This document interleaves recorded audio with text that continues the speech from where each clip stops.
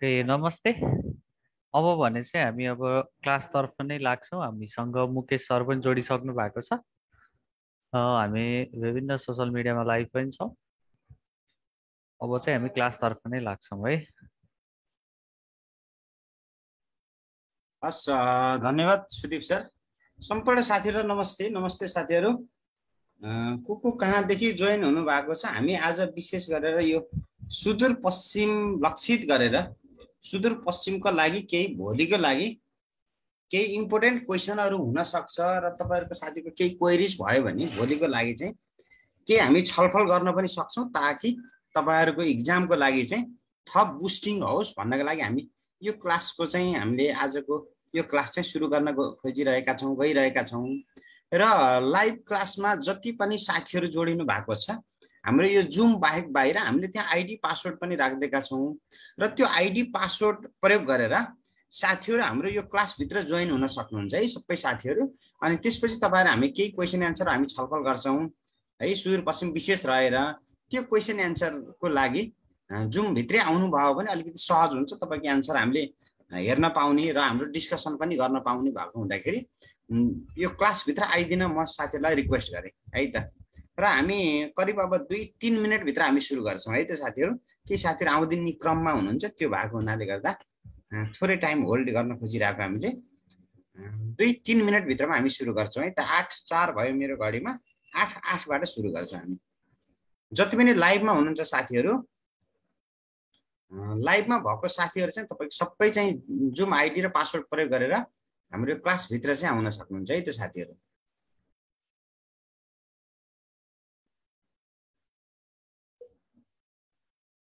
हामीले सुदूरपश्चिम विशेष रहेर सुदूरपश्चिम विशेष रहेर हामीले चाहिँ विभिन्न टपिकहरूमा हामी क्वेसन एन्सर बेसिसमा हामी छलफल गर्छौँ।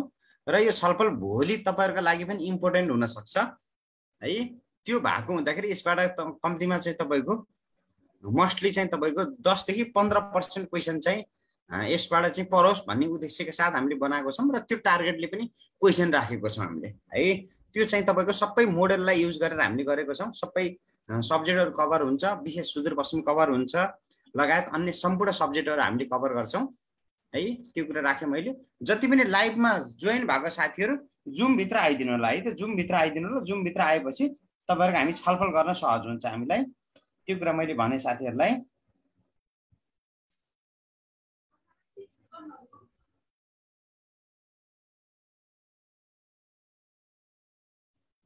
लाइभमा भएको साथीहरू सबैभित्र आइदिनु है त। आठ पाँच भयो अब हामी तिन मिनट कुर्दैछौँ। आठ आठबाट म सुरु गर्छु है त। हामी चाहिँ क्वेसन एन्सर डिस्कसन गर्छौँ। सबै हामी हजुर।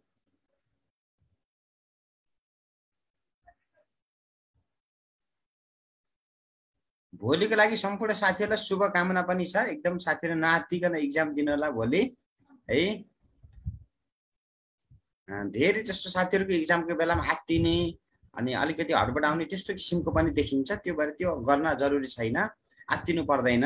है मजाले हामी कुल भएर इक्जाम दिन सक्छौँ। र इक्जाम दिने बेलामा साथीले के कुरा विचार गर्नु पर्यो भन्दाखेरि हामी कहिलेकाहीँ धेरै आत्तिएर चाहिँ इक्जाम बिग्रिने समस्या देखिन्छ। है आत्तिएर बिग्रिन सक्ने चान्सेस हुन्छ। त्यो भएर बिल्कुल नआत्तिनु होला। र तपाईँले एउटा कुरो के विचार गर्नु होला भने इक्जाममा तपाईँको क्वेसनहरू एकदमै बेसिक क्वेसन है? बेसिक आधारभूत क्वेसनहरू सबै जानेकै तपाईँहरूले सुनेकै क्वेसनहरू आउँछ है? त्यो भावनाले नजानेको तपाईँले नसुनेको क्वेसनहरू आउँदै आउँदैन है? एकदमै जानेकै पढिरहेको हेरिरहेकै क्वेसन आउँछ। त्यो भएको हुँदाखेरि मजाले नआत्तिकन क्वेसनहरू हेरेर मात्रै एन्सर दिने र कतिपय अवस्थामा के देखिन्छ भने साथीहरूले इक्जामको बेलामा चाहिँ तपाईँको क्वेसन पढेर नभ्याउँदै अनि एन्सर चाहिँ तपाईँको दिमागमा राखेर पढ्ने। त्यो एकदमै घातक छ है एकदमै घातक हुन्छ। त्यो चाहिँ बिल्कुल नगर्नु होला हामीले चाहिँ क्वेसन पढेर भ्याइसकेपछि मात्रै अनि एन्सर चाहिँ दिने है। अप्सन पनि पढ्ने त्यसपछि बल्ल एन्सर दिने। किनभने अप्सनले चाहिँ तपाईँको धेरै कुरा डिटर्माइन गरिदिन्छ है। अप्सनले धेरै कुरा फरक पारिदिन्छ। त्यो भावनाले हामीले त्यो कुरा चाहिँ विचार गर्नुपर्छ है।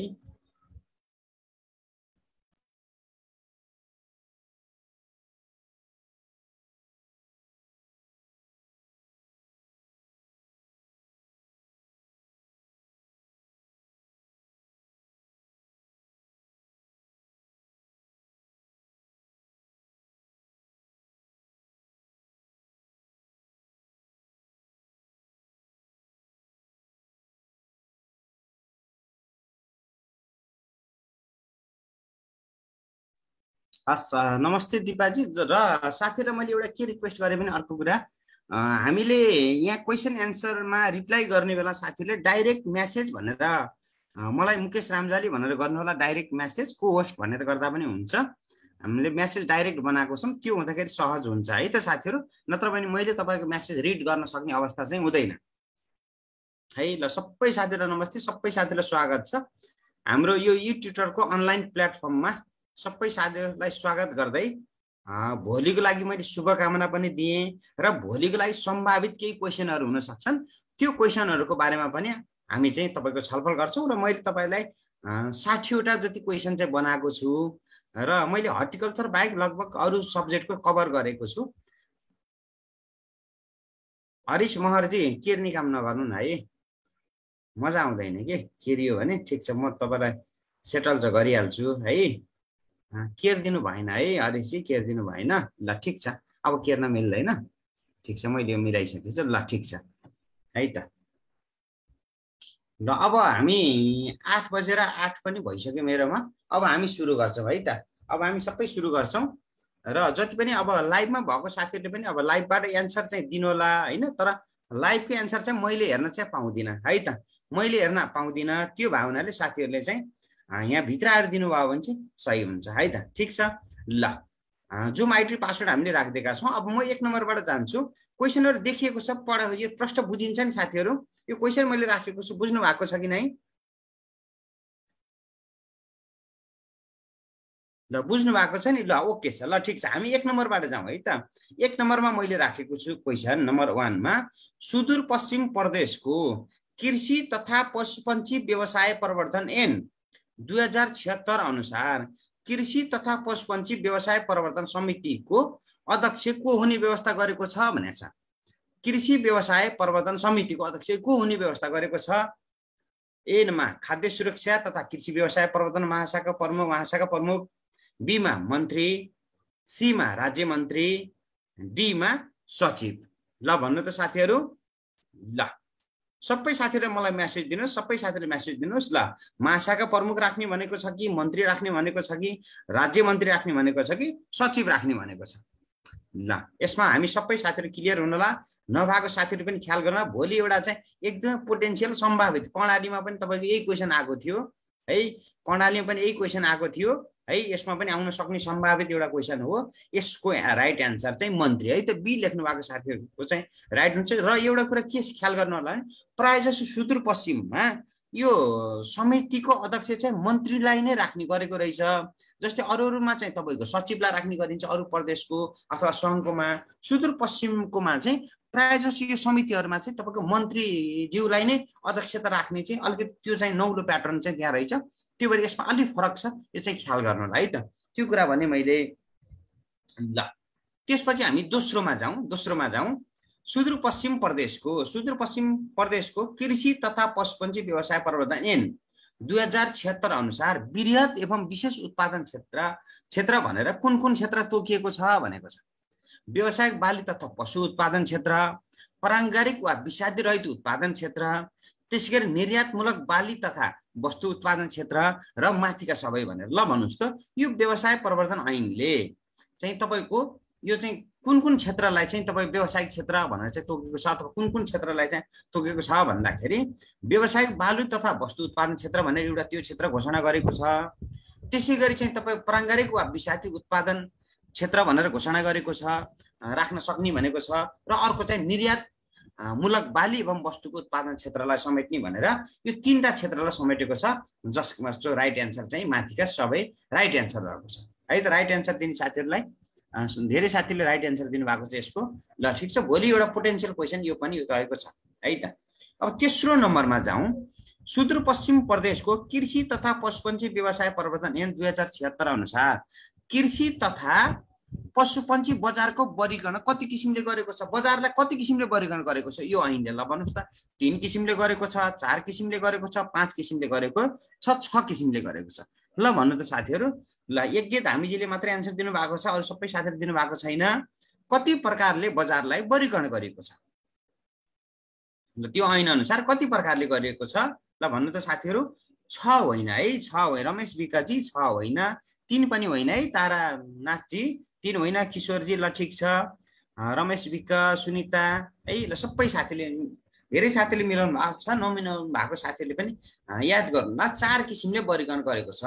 जसमा तपाईँको थोक बजार भनेर वर्गीकरण गरेको छ एउटा है खुद्रा बजार भनेर गरेको छ हाट बजार भनेर गरेको छ र चाहिँ तपाईँको सङ्कलन केन्द्र भनेर चार किसिमले गरेको छ। याद गर्नुलाई त साथीहरू। थोक बजार र खुद्रा बजार है त्यसपछि हाट बजार र सङ्कलन केन्द्र गरी चार किसिमको बजार भनेर यसले चाहिँ तपाईँको क्याटेगोराइज गरेको छ। ठिक छ साथीहरू? ल।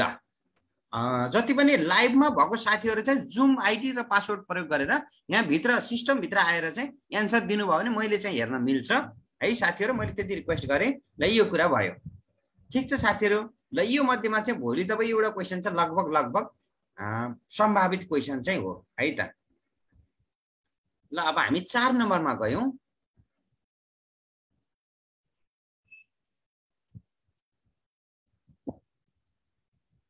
ल चार नम्बरमा अब चार नम्बर हेरौँ साथीहरू।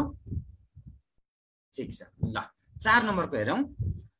सुदूरपश्चिम प्रदेश सरकारको प्रथम पञ्चवर्षीय योजना कहिलेदेखि कहिलेसम्म रहेको छ भनेर। सुदूरपश्चिम प्रदेशको प्रथम पञ्चवर्षीय योजना कहिलेदेखि कहिलेसम्म रहेको छ भनेर। आर्थिक वर्ष छिहत्तर सतहत्तरदेखि असी एकासी सतहत्तर अठहत्तरदेखि बयासी तिरासी अठहत्तर उना असीदेखि बयासी तिरासी अथवा उना असी असीदेखि तिरासी चौरासी। ल भन्नु साथीहरू। ल। यसमा अझै पनि कतिपय साथीहरू एकदम कन्फ्युजन हुनुहुन्छ। यसमा कन्फ्यु सामान्यतया बेसिक सामान्य कुरा हो। यदि तपाईँले सुदुम पश्चिम प्रदेशको पञ्चवर्षीय योजना हेर्नु भने पहिलो नम्बरमा हामीले हेरिने चिज भनेकै के हो? यही कुरा हो। यो योजना कहिलेदेखि कहिलेसम्म भन्ने कुरो हामीले हेर्नुपर्छ के? है त्यो भने यस्तो सामान्य सामान्य कुराहरूमा पनि साथीहरूले चाहिँ ख्याल गर्नुहुन्न। मैले त्यो भएर हामीले सामान्य लाग्ने कुराहरूमा पनि ख्याल गर्नुपर्छ है त। अठहत्तर उना असीदेखि बयासी तिरासी है। अठहत्तर उना असीदेखि बयासी तिरासी है। त अरू प्रदेशहरूको अलि अगाडि बनेको छ यो सुदूरपश्चिमको अलिक पछाडि बनेको छ यो कुरा पनि यसो थोरै ख्याल गरिदिनु पर्ला भनेर मैले भने साथीहरूलाई। है त ल। यो चाहिँ अलिकति फरक किसिमको छ। यो चाहिँ अठहत्तर उना असीदेखि बयासी तिरासीसम्म है पञ्चवर्षीय सुदूरपश्चिमको प्रथम पञ्चवर्षीय योजना भन्छ ठिक छ? ल पाँच नम्बरमा जाउँ। सुदूरपश्चिम प्रदेश सरकारको प्रथम पञ्चवर्षीय योजना अनुसार प्रदेशको दीर्घकालीन सोच प्रदेशको दीर्घकालीन सोच के छ भन्दा आत्मनिर्भरता उन्मुख समृद्ध सुदूरपश्चिम। यो नारा पनि यसो याद गरिराख्नु पर्ला है साथीहरू। भोलिको लागि तपाईँको यसो कहीँ कतै फेरि सोधिदिन पनि सक्छ यो नाराका कुरा है। आत्मनिर्भरता उन्मुख सुदूरपश्चिम। आत्मनिर्भरता उन्मुख समृद्ध सुदूरपश्चिम रहेको छ भने प्रदेशको दीर्घकालीन लक्ष्य कतिवटा तय गरिएको छ? अब यसको दीर्घकालीन लक्ष्य कतिवटा तय गरिएको छ? ल भन्नुहोस् त। यसको टार्गेट कतिवटा तय गरिएको छ? चारवटा गरेको छ छवटा गरेको छ आठवटा गरेको छ नौवटा गरेको छ। कतिवटा गरेको साथीहरूलाई सबैले एन्सर दिनुहोस् सबैले एन्सर दिनुहोस्। ल यसको चाहिँ प्रदेशको दीर्घकालीन लक्ष्य चाहिँ आठवटा तय गरिएको छ। आठवटा दीर्घकालीन लक्ष्य यसको कतिवटा छ भन्दाखेरि? आठवटा है त आठवटा लक्ष्य तय गरेको छ। ल।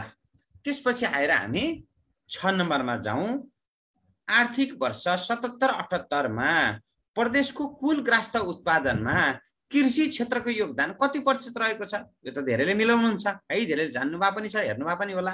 कति प्रतिशत रहेको छ? ल भन्नुहोस् त। तेह्र पोइन्ट सात प्रतिशत रहेको छ पैँतिस पोइन्ट छ प्रतिशत रहेको छ अथवा पचास पोइन्ट सात प्रतिशत रहेको छ अथवा एकतिस पोइन्ट पाँच प्रतिशत रहेको छ। ल सबै साथीले भन्नुहोस् त। मैले पर्सेन्ट सबैमा राख्नुपर्ने सबैमा राखेको रहन्छु।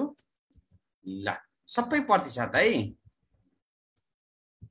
ल यसमा बिर्सिनु भएन एकदम सजिलो छ। पैँतिस पोइन्ट पैँतिस पोइन्ट छ प्रतिशत चाहिँ तपाईँको यो सुदूरपश्चिम प्रदेशको कृषि क्षेत्रको योगदान रहेको छ। अब यो तेह्र पोइन्ट सात पर्सेन्ट भनेको के को हो त भन्दा तेह्र पोइन्ट सात पर्सेन्ट भनेको तपाईँको द्वितीय क्षेत्रको के अरे द्वितीय क्षेत्रको कुरा छ इन्डस्ट्री क्षेत्रको है? त्यसपछि आएर पचास पोइन्ट सात पर्सेन्ट भनेको सेवा क्षेत्रको है त? मैले प्रदेशको यसको कुरा गरेँ मैले है त? ल ठिक छ। त्यसपछि अब एउटा एकदमै कन्फ्युजन क्वेसन छ। यो क्वेसन मैले तपाईँलाई दुईवटा डाटा राखिदिएको छु है? सुदूरपश्चिम प्रदेशमा कुल खेती योग्य जमिन कति हेक्टर रहेको छ भनेर। यो माथिल्लो अप्सन चाहिँ तपाईँको यो तपाईँको प्रथम पञ्चवर्षीय योजना अनुसारको हो। दोस्रो चाहिँ तपाईँको कृषि मन्त्रालयको प्रगति प्रतिवेदनको आधारमा। है दुईवटा अप्सन मैले सँगसँगै राखिदिएको छु। यो डाटा दुई किसिमको छ भन्ने कुराहरू आएको छ साथीहरूको। मैले त्यही भएर त्यो दुइटै डाटा राखिदिएको छु। अब सुदूरपश्चिम प्रदेशको कुल खेती जमिन कति रहेको छ भन्यो भने तिन लाख सडसठी हजार छ सय उनपचास छ कि तिन लाख अठाइस हजार छ सय उनपचास छ कि एक लाख एकहत्तर हजार आठ सय बत्तिस छ कि अडतिस हजार दुई सय छ।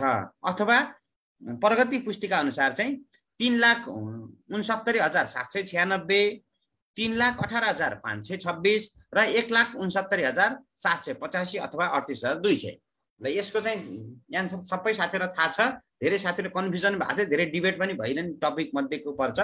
यसको चाहिँ तपाईँको कुल खेतीयोग्य जग्गा भन्यो भने तपाईँको तिन लाख सडसठी हजार तपाईँको छ सय उनपचास पनि हो र चाहिँ तपाईँको तिन लाख उना सत्तरी हजार सात सय छ्यानब्बे दुइटै यो माथिल्लो भनेको तपाईँको यो प्रथम पञ्चवर्षीय योजना अनुसार त्यसको जुन योजना छ पञ्चवर्षीय योजना अनुसारको हो भने यो चाहिँ प्रगति पुस्तिका अनुसारको तपाईँहरूलाई यो दुइटै चाहिँ तपाईँ राखेर नसोध्ला। यो मध्ये चाहिँ राख्दाखेरि जुन डेटाको प्याटर्न छ त्यो डेटाको प्याटर्न चाहिँ समात्नुलाई है साथीहरूले। यो कुरा खेतीयोग्यको कुरा भयो भने खेती गरिएको कति हो भन्यो भने तिन लाख अठाइस हजार छ सय उनपचास चाहिँ खेती गरिएको अनि यता चाहिँ तिन लाख अठार हजार पाँच सय छब्बिस हेक्टर चाहिँ खेती गरेको भने यो कुरा छ भने यो एक लाख एकहत्तर हजार आठ सय बत्तिस चाहिँ तपाईँको यो सिँचाइको कुरा भयो यो चाहिँ एक लाख उना सत्तरी हजार सात सय पचास चाहिँ सिँचाइ गरेको भनेर यो प्रगति पुस्तिका अनुसार यो कुरा छ। यो चाहिँ यसो ख्याल गर्नु होला। है त साथीहरूले? यति कुरा भने मैले। यो अडतिस हजार दुई सय चाहिँ के हो भन्दाखेरि यो रानी जमरा कुलेरिया सिँचाइ आयोजनाले चाहिँ तपाईँको सिँचाइ गर्ने क्षेत्रफल चाहिँ तपाईँ अडतिस हजार दुई सय है त यो अडतिस हजार दुई सय चाहिँ त्यसको डाटा मैले राखिदिएको तपाईँहरूलाई। यो चाहिँ तपाईँको चारवटै अप्सनको मैले कुरा भने यो चाहिँ साथीहरूले यसो ख्याल गर्नु होला भनेर भन्ने मैले कुरा। ठिक छ? अब हामी आठ नम्बरमा जाउँ है त। सबै साथीहरूले रेस्पोन्स दिनुहोस् है। रेस्पोन्स दिनुहोस् त। तपाईँले रेस्पोन्स दिनुभयो भने भोलि तपाईँको यही क्वेसन आउँदा हिजो साँझ सरले त भन्नुभएको थियो। आज चाहिँ मैले मिस्टेक गरेँ। त्यहाँ दिएको भए त अलिकति प्र्याक्टिस हुन्थ्यो। भन्ने अवस्था चाहिँ पछुताउने अवस्था हुनसक्छ। है? त्यो भएर त्यो कुरा चाहिँ ख्याल गर्नु पर्यो है त। ल अब हामी आठ नम्बरमा जाउँ। आर्थिक वर्ष सतहत्तर अठहत्तरमा सुदूरपश्चिम प्रदेशमा बहुआयामिक गरिबीमा रहेका जनसङ्ख्या कति पर्सेन्ट रहेका छन्? बहुआयामिक गरिबी भने बुझ्नुहुन्छ नि। कुनै एउटा तपाईँ एब्सोलुट पोभर्टी र त मल्टी डाइमेन्सनल पोभर्टी भनेर दुई किसिमको पोभर्टी हुन्छ है? दुई किसिमको पोभर्टी हुन्छ।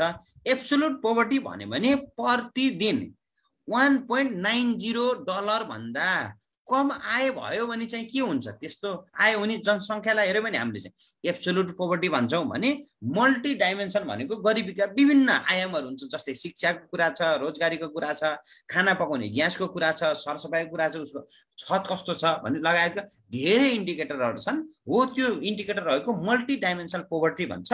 त्यसको चाहिँ पर्सेन्ट कति छ भन्यो भने धेरै साथीले मिलाउनु भएको छ। बी होइन है दिपाजी बी होइन है बी होइन डम्बर रिजालजी धेरै साथीहरूले मिस्टेक गर्नुभयो। ल।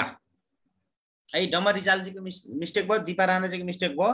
पच्चिस पोइन्ट पच्चिस पोइन्ट तिन पर्सेन्ट चाहिँ तपाईँको बहुआयामिक गरिबी अनि यो चौबिस पोइन्ट छ पर्सेन्ट चाहिँ तपाईँको यो चाहिँ एब्सोलुट पोभर्टी भन्छ। है एब्सोलुट पोभर्टी भन्यो भने चाहिँ तपाईँको चौबिस पोइन्ट छ र चाहिँ तपाईँको बहुआयामिक पोभर्टी भन्यो भने पच्चिस पोइन्ट तिन।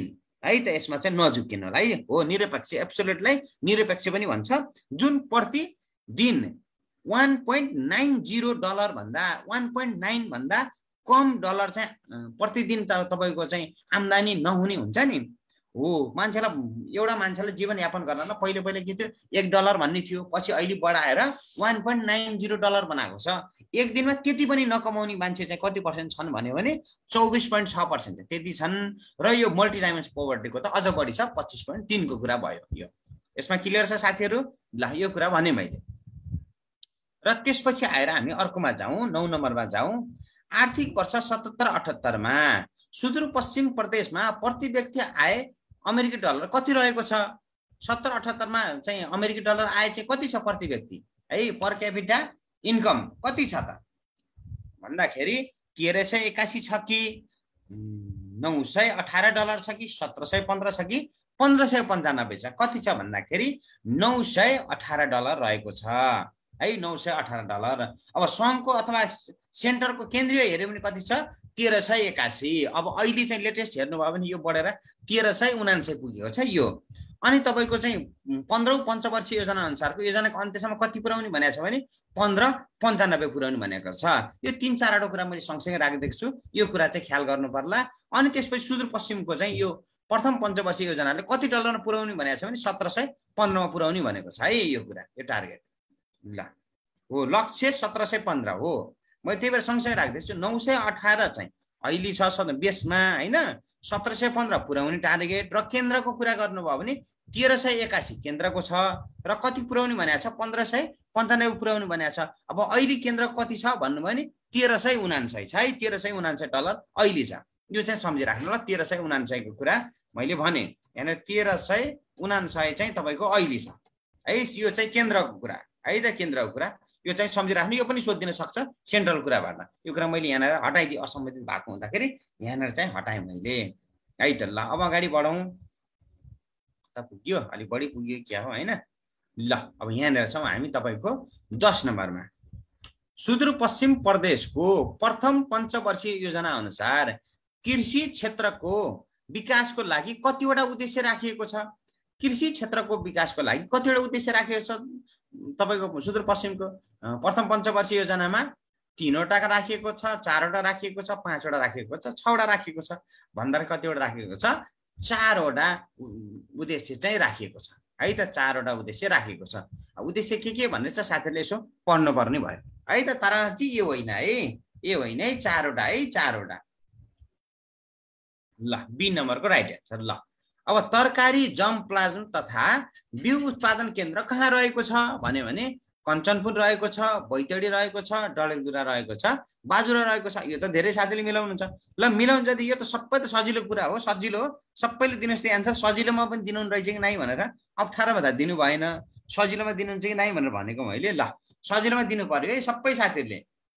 ल सबै साथ म्यासेज दिनुहोस्। म्यासेज दिनुभयो भने तपाईँको दिमागमा बसिरहेको छ भोलि इक्जाममा आउने आउँछ क्वेसनहरू यस्तै क्वेसन आउँछन् है त्यो पनि ख्याल गर्नु पर्यो ल यसको राइट एन्सर हो डडेलधुरा अब सबैभन्दा धेरै तपाईँको तपाईँको यो चाहिँ उसको कार्य कार्यालयहरू भएको जिल्ला चाहिँ कुन हो भन्यो भने कुन भन्नुहुन्छ? यो कृषितर्फका सबैभन्दा धेरै कार्यालय भएको जिल्ला कुन हो भन्यो भने कुन भन्नुहुन्छ? यही अप्सनमा हेर्नुहोस् त। यो अप्सनमा कञ्चनपुर बैतडी डडेलधुरा बाजुरा भनेको छ यो अप्सनमा कञ्चनपुर है यो अप्सनको कुरा मात्रै गरेको मैले। जस्तै कञ्चनपुरमा हाम्रो के छ? कृषि व्यवसाय प्रवर्धन तथा तालिम केन्द्र तै छ माटो तथा मल परीक्षण परीक्षाला तै छ बिउ बिजन परीक्षण परीक्षाला तै छ बाली संरक्षण परीक्षाला तै छ है? त्यसपछि कृषि ज्ञान केन्द्र त भइहाल्यो। अब पाँचवटा कार्यालय चाहिँ यहीमै केन्द्रित छ है? कञ्चनपुरमा। यसो ख्याल गर्नु होला है यो कुरा किनभने ल्याबको कुरा अस्ति तपाईँको लुम्बिनीमा चाहिँ ल्याब कहाँ छ भनेर सोधिदियो के अरे तालिम केन्द्र कहाँ छ भनेर सोधिदियो होइन? यस्तो कुराहरू पनि सोधिदिन्छ। कि सजिलो कुरा जो आधारभूत कुरा जान्न पर्ने हुन्छ तपाईँहरूले यदि त्यहाँ तपाईँको जागिर खाएर जानुभयो भने एटलिस्ट तपाईँ कार्यालय कहाँ कहाँ छन् भन्ने त थाहा पाउनु पऱ्यो नि। होइन र त्यो भएर यस्तो बेसी कुराहरू पनि सोधिदिँदो रहेछ। त्यो भएर त्यो कुरा हामीले ख्याल गरौँ। है त साथीहरू? ल अब बाह्र नम्बर एन्सर मैले भन्न त भनिसकेको छु त्यही पनि फेरि कुरा गरौँ। बाह्र नम्बरमा सुदूरपश्चिम प्रदेशमा बिउ बिजन प्रयोगशाला कहाँ रहेको छ? है बिउ बिजन सुदूरपश्चिम प्रदेशमा बिउ बिजन प्रयोगशाला कहाँ रहेको छ? कञ्चनपुर रहेको छ बैतडी रहेको छ डडेलधुरा बाजुरा मैले भर्खर भनिदिइसकेँ कञ्चनपुरमा रहेको छ। है त विभाजन प्रयोगशाला कञ्चनपुरमा रहेको छ। ल कञ्चनपुरको सुन्दरपुर एक्ज्याक्टली है त ल ठिक छ। ल अब हामी अगाडि बढौँ। तेह्र नम्बरमा सुदूरपश्चिम प्रदेशको बिउ बिजन एन दुई हजार सतहत्तर अनुसार बिउ बिजन समितिको गठन गर्दा उक्त समितिको अध्यक्ष को हुने व्यवस्था गरिरहेको छ ल भन्नुहोस् त। एमा मन्त्री बीमा राज्य मन्त्री सीमा सहायक मन्त्री डीमा माथिका सबै। एन्सर दिनलाई आत्तिने होइन है त राम श्रेष्ठजी जोशी रमेशजी। एन्सर दिन कोही पनि साथीहरू एन्सर दिन नआत्तिनुहोस् त। एकचोटि सबैले क्वेसन पढिदिनुहोस् त। मेरो तपाईँलाई अनुरोध किनभने तपाईँको बानी बिग्रिन्छ क्या साथीहरू? यसरी बानी बिग्रिन्छ हतारमा एन्सर दिँदाखेरि गेट बाहिर निस्केर पसुताउनु पर्ने हुन्छ। त्यो भएर राम्रोसँग हेरौँ। सुदूरपश्चिम प्रदेशको बिउ विजन एन दुई हजार सतहत्तर अनुसार बिउ बिजन समितिको गठन गर्दा उक्त समितिको अध्यक्ष को हुने व्यवस्था गरेको छ? ल भन्नु साथीहरू मन्त्री हुने व्यवस्था छ राज्य मन्त्री हुन सक्ने छ सहायक मन्त्री हुन सक्ने छ अथवा माथिका सबै? ल भन्नु साथीहरू। हो यसमा झुक्किनु के भएन भने साथीहरू त्यहाँको अध्यक्षको कुरा गर्दा मन्त्री वा राज्य मन्त्री वा सहायक मन्त्री भनेर भनेको छ। है सबै हुन सक्छन्। है सबै हुन सक्छन्। मन्त्री पहिलो प्रायोरिटी मन्त्रीको हुन्छ मन्त्री नभए भने राज्य मन्त्री नभए चाहिँ सहायक मन्त्री भनेर माथिका सबैको एन्सर हुन्छ यसमा। है त साथीहरू? फर्स्ट प्रायोरिटी मन्त्री वा राज्य मन्त्री वा सहायक मन्त्री भनेर चाहिँ तिनटै अप्सन राखेको छ। हेर्नुहोस् त साथीहरू एकचोटि त्यो ऐन हो अलिकति ख्याल गर्नु पऱ्यो क्या साथीहरू ख्याल गर्नु पऱ्यो पढ्नु पऱ्यो ऐन हेर्नु पऱ्यो। है त? ल यस्तो कन्डिसन हाम्रो के हुन्छ? हो मन्त्री नभए होइन यदि मन्त्रीले म चाहिँ हुन्न तपाईँ राज्य मन्त्रीलाई राख्नुहोस् भनेर मन्त्रीले चाहिँ अधिकार राज्य मन्त्रीलाई प्रत्यार्जन गऱ्यो भने मन्त्री हुँदा हुँदै पनि राज्य मन्त्री हुनसक्छ है त्यो भएर चाहिँ तपाईँको हामीलाई एनमा जे कुरा छ त्यही कुरा हामीले कोट गर्नुपर्छ कि यसमा। तपाईँले मन्त्री नै हुन्छ भन्न सक्नुहुन्न नि यसमा। यदि मन्त्रीले अधिकार प्रत्यायोजन गरे पनि अरू हुन सक्ने अवस्था हो। नत्र भने त तपाईँको के हुन्छ? फरक पर्छ नि। हो त्यो भावनाले हामीले यस्तो कुरा चाहिँ विचार गर्नुपर्छ। यसको चाहिँ तपाईँको माथिका सबै हुन्छ। है त यो कन्डिसनमा। यदि अब माथिका सबै नदिएको कन्डिसनमा के हुन्थ्यो? अथवा यहाँ चाहिँ तपाईँको माथिका सबै नदिएको कन्डिसन यहाँ चाहिँ सचिव भनेर राखिदियो भए त्यो कन्डिसनमा तपाईँले मन्त्री भन्न सक्नुहुन्थ्यो। किनभने फर्स्ट प्रायोरिटी भनेको मन्त्री हो।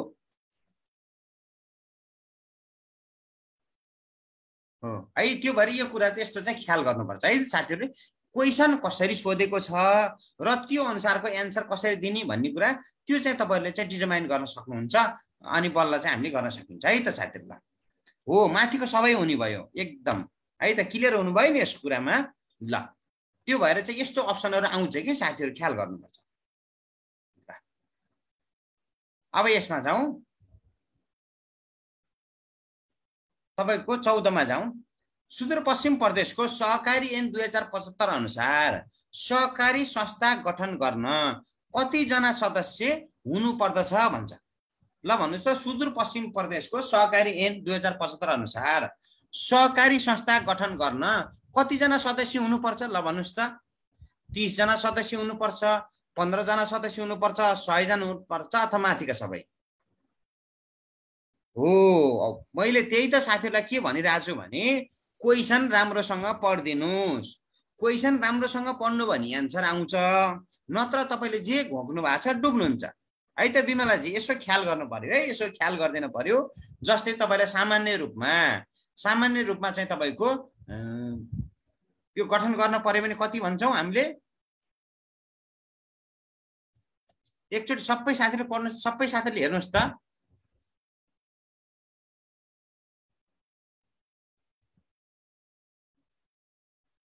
साथीहरूको पढाइ पुगेन कि? साथीहरूको पढाइ बिल्कुलै पुगेन। बिल्कुलै पुगेन। तपाईँले सामान्य सामान्य कुरा पनि पढ्न पर्ने कुराहरू चाहिँ पढ्नु भएको छैन।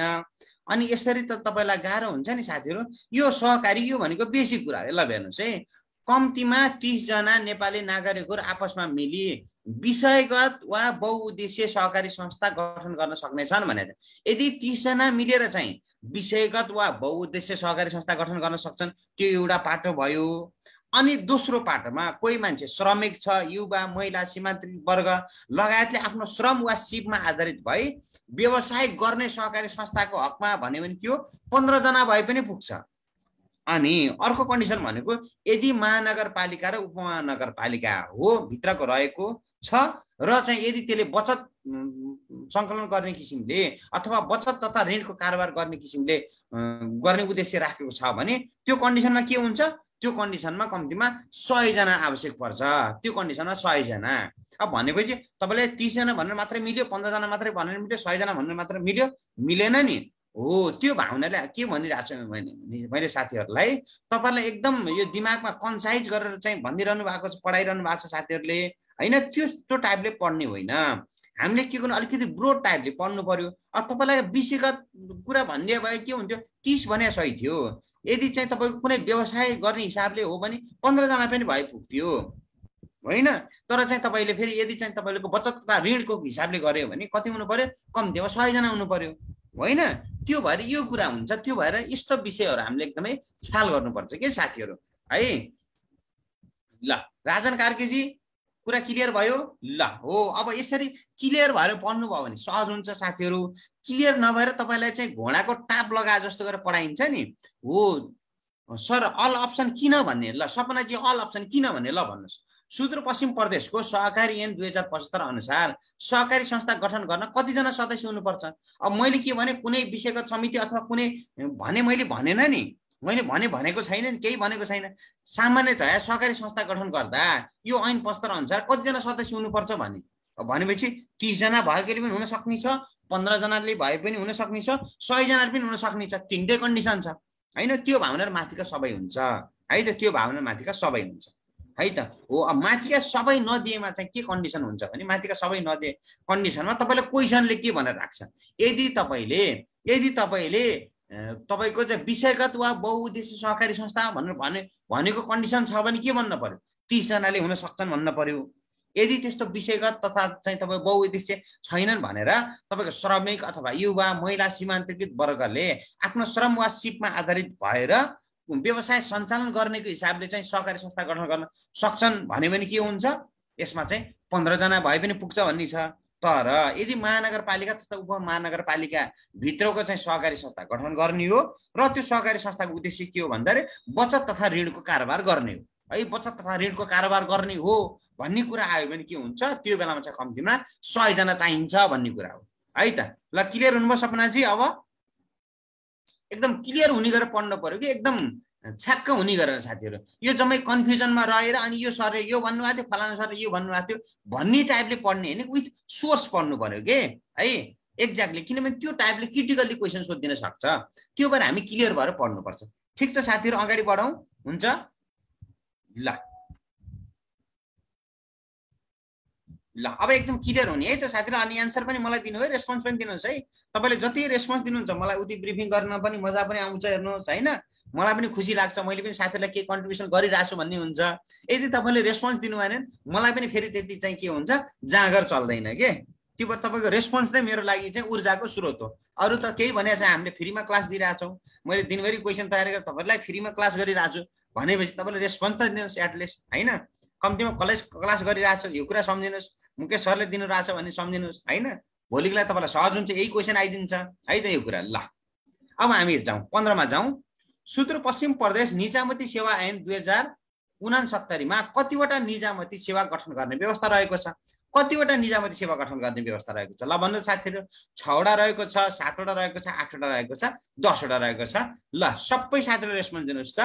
यदि क्लास मन परेको छ सबै साथीहरूले रेस्पोन्स दिनुहोस् र लाइभमा जति पनि साथीहरू हुन्छ सबै जुमभित्र चाहिँ आइदिनुहोस् है त?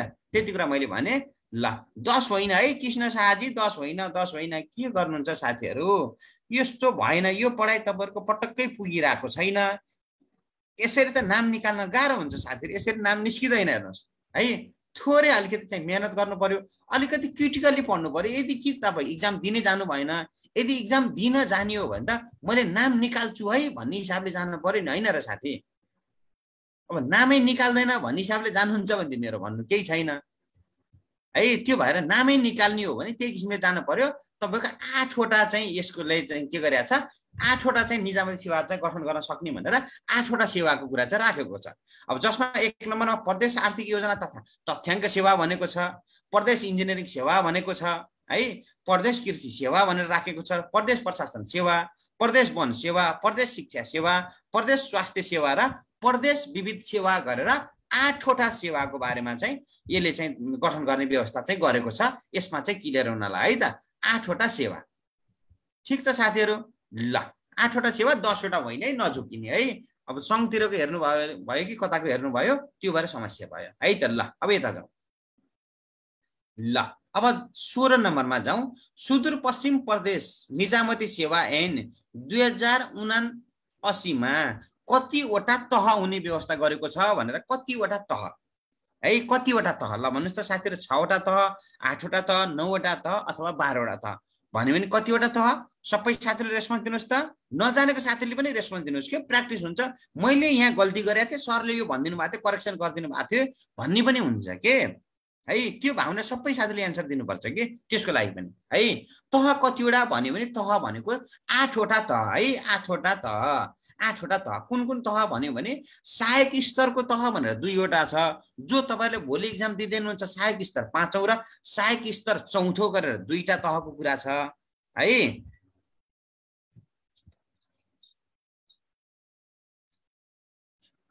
रमेश यादव चाहिँ रेगुलर क्लासमा मैले सुदूरको पढाउन नवीन सरले पढाउनुहुन्छ है। ल अब यो आठवटा त है आठवटा तहमा मैले भन्दैछु तपाईँहरूलाई। नमस्ते है गणेश ताम्राकारजी नमस्ते। ल यो सहायक स्तरको दुईवटा पद छन् है यो कुरा पनि ख्याल गर्नु सहायक स्तरको पद भन्यो भने दुईवटा कुन कुन त भन्यो भने सहायक स्तर चौथो र सहायक स्तर पाँचौँ भनेर। जो भोलि पाँचौँको लागि तपाईँले इक्जाम दिँदै हुनुहुन्छ र चौथोको लागि हामी तयारी गराउँदैछौँ तपाईँहरूलाई। है? त्यो सहायक स्तरको दुईवटा तह र बाँकी सबै अफिसर लेभलको अधिकृत स्तरको भन्छ? है? अधिकृत स्तर छैटौँ अधिकृत स्तर सातौँ अधिकृत स्तर आठौँ अधिक स्तर नौौँ होइन? त्यसपछि दसौँ गरेर एघारौँ गरेर एघारौँ पदसम्म यसरी यो कुरा राखेको छ। दुईवटा सहायक स्तर पद बाँकी छवटा चाहिँ तपाईँको अधिकृत स्तरको पद भनेर भन्छ। यो कुरा चाहिँ ख्याल गर्नु होला र मैले सोधेको कतिवटा तह भन्यो भने आठवटा तह। यो कुरा भयो। है त ल। ठिक छ साथीहरू? ल अगाडि बढौँ। अब हामी सत्र नम्बरमा। सुदूरपश्चिम प्रदेश निजामती सेवा ऐन दुई हजार उना अस्सी अनुसार सहायक चौथो तहको खुला परीक्षाबाट कति प्रतिशत पदपूर्ति गर्ने व्यवस्था गरेको छ? है कति प्रतिशत पदपूर्ति भनेको है यहाँ पद भन्ने छुटेछ मैले सच्चै हाल्छु। सरी है त। ल कति प्रतिशत पदपूर्ति गर्ने व्यवस्था गरेको छ? ल भन्नुहोस् त। तपाईँको चौथो तहको लागि खुलाबाट कति लिने? पच्चिस पर्सेन्ट लिने पचास पर्सेन्ट लिने पचहत्तर पर्सेन्ट लिने अथवा दस पर्सेन्ट लिने भन्यो भने खुलाबाट सहायक स्तर चौथोको लागि खुलाबाट कति पर्सेन्ट लिने भन्दाखेरि खुलाबाट पचहत्तर पर्सेन्ट लिने है खुलाबाट पचहत्तर पर्सेन्ट लिएर चाहिँ भर्ना गर्ने। ठिक छ साथीहरू? खुलाबाट पचहत्तर पर्सेन्ट चौथोको लागि। अब पाँचौँको लागि फेरि कति हो ल भन्नुहोस् त। पाँचौँको लागि चाहिँ कति हो? ओ पच्चिस पर्सेन्ट चाहिँ तपाईँको आन्तरिक बढुवाबाट है आन्तरिकबाट। आफ्रा यो आन्तरिकमा तपाईँको त्यहाँ कोही साथीहरू हुनुहुन्छ होला पहिलाको उहाँहरू है उहाँहरूलाई चाहिँ बढुवा गरेर लिने है। अब जस्तै सुदूर के अरे कोसीमा पनि आन् आफ्नो भनेर कोटा छुट्यायो पछि मान्छे नपाएर त्यो कोटा खारेज गर्यो होइन? त्यस्तै गरेर चाहिँ हुनसक्छ है उहाँहरू चाहिँ राखेको हुन्छ। जस्तै तृतीय स्तरमा तपाईँको सहायक भनेर चाहिँ तपाईँको सहायक कृषि कृषि सहायकहरू भनेर राख्थ्यो जुन चाहिँ पहिलो पहिला पहिला उहाँहरूलाई चाहिँ बढुवा गरेर ल्याउनको लागि चाहिँ यो पद चाहिँ राखिएको है। अब पाँचौँ तहको लागि कुरा गऱ्यो भने हामी पचास पर्सेन्ट चाहिँ खुलाबाट ल्याउँछौँ है पाँचौँ तहको कुरामा ल ठिक छ साथीहरू ल अगाडि बढौँ है त। अब त्यसपछि आएर अर्को क्वेसन छ अठार नम्बरको सुदूरपश्चिम प्रदेश निजामती सेवा ऐन दुई हजार उना अस्सी अनुसार खुला प्रतियोगितात्मक परीक्षाद्वारा पूर्ति हुने पद मध्ये पैँतालिस प्रतिशतलाई जुन खुला पद हुन्छ नि त्यसलाई त्यसको चाहिँ हन्ड्रेड पैँतालिस प्रतिशतलाई के गर्ने? शत प्रतिशत माने थारू अथवा राणा थारूको लागि कति पर्सेन्ट सिट चाहिँ आरक्षणबाट पूर्ति गर्ने व्यवस्था गरेको छ? ल भन्नुहोस् त। थारू अथवा राणा थारू कति पर्सेन्ट गरेको छ? तेत्तिस पर्सेन्ट गरेको छ चौध पर्सेन्ट गरेको छ तेह्र पर्सेन्ट गरेको छ एघार पर्सेन्ट गरेको छ। ल भन्नु त साथीहरूले। याद गर्नु पऱ्यो कि यस्तो कुराहरू पनि यसो सोधिदिन सक्छ यो पनि तपाईँको एकदम इम्पोर्टेन्ट कुरा हो। किनभने अहिले चाहिँ प्रायः धेरै समावेशिताको कुरा आइरहेको छ होइन? यदि समावेशी कुरामा चाहिँ कसैलाई चित्त बुझेन भने त गाह्रो छ यहाँ होइन? मुद्दा पनि धेरै परिरहेको छ त्यो चाहिँ ख्याल गर्नु पर्यो है त? अब यसको एन्सर चाहिँ के हो भन्दाखेरि यसको एन्सर भनेको के हो? ल साथीहरू यसको एन्सर के हो? राणा थारूको लागि कति पर्सेन्ट भनेको? ल एघार लाउनु भएको छ साथीहरूले अब यो पनि पढाइ पुगेन साथीहरूको है? तेह्र प्रतिशत है तेह्र पर्सेन्ट तेह्र पर्सेन्ट यो चाहिँ तपाईँलाई मैले जस्ट स्याम्पल रूपमा भने अरू कुराहरू पनि राख्नु जस्तै तेत्तिस पर्सेन्ट भन्यो भने कसको लागि भन्यो भने तेत्तिस पर्सेन्ट महिलाको लागि। महिलाहरूको लागि तेत्तिस पर्सेन्ट अब चौध पर्सेन्ट राखेपछि त्यहाँ चौध पर्सेन्ट भन्ने कसको लागि हो? चौध पर्सेन्ट दलितहरूको लागि। राणा थारूको लागि तेह्र पर्सेन्ट कुरा भयो। आर्थिक रूपले विपन्न तथा खस आर्यको लागि कति पर्सेन्ट भन्यो भने एघार प्रतिशत। अब आदिवासी जनजातिको लागि कति पर्सेन्ट भन्यो भने दस पर्सेन्ट। है पिछडिएको क्षेत्रलाई कति पर्सेन्ट भन्यो भने दस पर्सेन्ट। अपाङ्गलाई कति पर्सेन्ट भन्छ? चार पर्सेन्ट। र यसै गरी मधेसीलाई कति पर्सेन्ट? तिन पर्सेन्ट। र मुस्लिमलाई कति पर्सेन्ट भन्दा दुई पर्सेन्ट गरेर यो किसिमले राखेको छ। यो कुरालाई पनि सर तपाईँले याद गर्न प्रायः यसमा चाहिँ मस्ट पोटेन्सियली आउने क्वेसन भनेको एउटा चाहिँ महिलाको लागि भनेर सोधिदिन सक्छ। तेह्रको कुरा तेत्तिसको कुरा भयो। अर्को मैले चाहिँ तपाईँको राणा थारूको कुरा भने मैले भनिसकेँ। त्यसपछि तपाईँको आर्थिक रूपले विपन्न तथा खस आएर एघार पर्सेन्ट यो चाहिँ त्यहाँ तपाईँको यहाँको छ अलिकति एक्स्ट्रा कुरा छ यो कुरा आएको छ। हाम्रो जुन नेसनलमा भन्दा यो र थारूको कुराहरू यो चाहिँ ख्याल गर्नु एघार पर्सेन्टको कुरा छ। यो आर्थिक रूपले विपन्न खस आर्यको लागि भनेर एघार पर्सेन्ट यो कुरा पनि इम्पोर्टेन्ट छ है। यो कुरा यसो याद गर्नु होला। ठिक छ साथीहरू? ल। फेरि भनिदिनु अब यो रेकर्डेड भिडियो हेर्नु पऱ्यो है त सुस्मिता राईजी नभए म तपाईँलाई पर्सनल्ली मैले तपाईँलाई धेरै साथीहरूलाई मैले यसको नोट पनि पठाइदिएको छु त्यसबाट हेर्नु होला। है त साथीहरूले ल। फेरि एकचोटि भनिहाल्नु मैले फेरि सरले फेरि हो यति पनि भनिदिनु भएन भन्ने हुन्छ ल सुन्नुहोस् है। फेरि एकचोटि ध्यान दिएर सबै साथीहरूले महिलाको लागि तेत्तिस पर्सेन्ट दलितको लागि चौध प्रतिशत थारू तथा राणा थारूको लागि तेह्र पर्सेन्ट आर्थिक रूपले विपन्न खस आर्यको लागि एघार प्रतिशत आदिवासी जनजातिको लागि दस प्रतिशत पिछडिएको क्षेत्रको लागि दस प्रतिशत अपाङ्गको लागि चार प्रतिशत र मधेसीको लागि तिन पर्सेन्ट र मुस्लिमको लागि दुई प्रतिशत। है त? अब यति भएपछि रेकर्डेड भिडियो फेरि हेर्दा पनि भेट्नुहुन्छ। ल साथीहरूले यति कुरा भने मैले। है? र यसको चाहिँ तपाईँको यो एघार पर्सेन्टवाला पनि इम्पोर्टेन्ट छ भन्ने कुरा मैले भने कमान्डेडमा कमान्डोमा यो क्लास चाहिँ रेकर्ड आउँदैन। यो क्लास चाहिँ हाम्रो एडभान्स ग्रुपको एडभान्स एग्रिकल्चर प्रिपेरेसन ग्रुप भनेर चाहिँ हाम्रो युट्युब च्यानल छ। त्यो युट्युब च्यानलमा चाहिँ अपलोड हुन्छ है त। यो हाम्रो एडभान्स एग्रिकल्चर प्रिपेरेसन ग्रुप भनेर त्यो ग्रुपमा चाहिँ आउँछ र त्यो ग्रुपमा चाहिँ हेर्नु होला यो चाहिँ कमान्डो अपलोड हुँदैन यो क्लास। है सर सुन्नु भएको छ सर नमस्कार सर नमस्ते नमस्ते। इन्टरप्ट गरेछ ट्वेन्टी क्वेसन पछि एउटा सर्ट नोटिस छ सबैजनाको लागि। म राख्ने छु सर ट्वेन्टी क्वेसन कम्प्लिट गर्नुहोस्। अन्त सर्ट दुई मिनटको एउटा क्लिप भिडियो छ। सबैजना विद्यार्थीको लागि बनाएका छौँ है? So short clip video play गर्छौँ अनि क्वेसन कन्टिन्यू गर्नु होला सर है? ल अब हामी उन्नाइस नम्बरमा छौँ। सुदूरपश्चिम प्रदेशमा कतिवटा कृषि ज्ञान केन्द्रहरू रहेका छन्? सुदूरपश्चिम प्रदेशमा कतिवटा कृषि ज्ञान केन्द्र रहेका छन्? ल साथीहरू भन्नुहोस् त। यो त सबैले थाहा पाउनुहुन्छ। सुदूरपश्चिममा रहेका नौवटा जिल्ला मध्येमा नौवटा जिल्लामा नै कृषि ज्ञान केन्द्रहरू रहेका छन् है? भोलिको लागि सिम्पल सजिलो तपाईँको सोधिदिन पनि सक्ने क्वेसन पनि हो। सजिलो तर चाहिँ सोधिदिन सक्ने क्वेसन है त? यो कुरा भयो। र त्यसपछि आएर बिस नम्बरमा जाउँ। सुदूरपश्चिम प्रदेशको बिउ बिजन एन कहिले जारी भएको? दुई हजार पचहत्तर साल दुई हजार छिहत्तर साल दुई हजार सतहत्तर साल दुई हजार अठहत्तर साल। ल भन्नु साथीहरूले। ल अब डम्बरजी बर्बाद अघि नै भर्खर मैले माथि यो क्वेसनलाई रेप्लिकेसन गरेर भनेको छु मैले। तर पनि बिगार्नु भयो साथीहरूले। है त? यो बिगार्नु भएन कि? है यो बिगार्नु भएन। दुई हजार एन कहिले जारी भन्छ दुई हजार सतहत्तर भन्छ। यो पास भएको चाहिँ अठहत्तर एक सातमा हो। तपाईँको राजपत्रमा प्रकाशन भएको है? तर हामीले के भन्छौँ? सुदूरपश्चिम प्रदेशको विभाजन ऐन कहिले जारी भयो भन्दाखेरि सुदूरपश्चिम प्रदेशको विभाजन ऐन दुई हजार सतहत्तर भन्ने भावनाले यसको चाहिँ के दुई हजार सतहत्तर हो।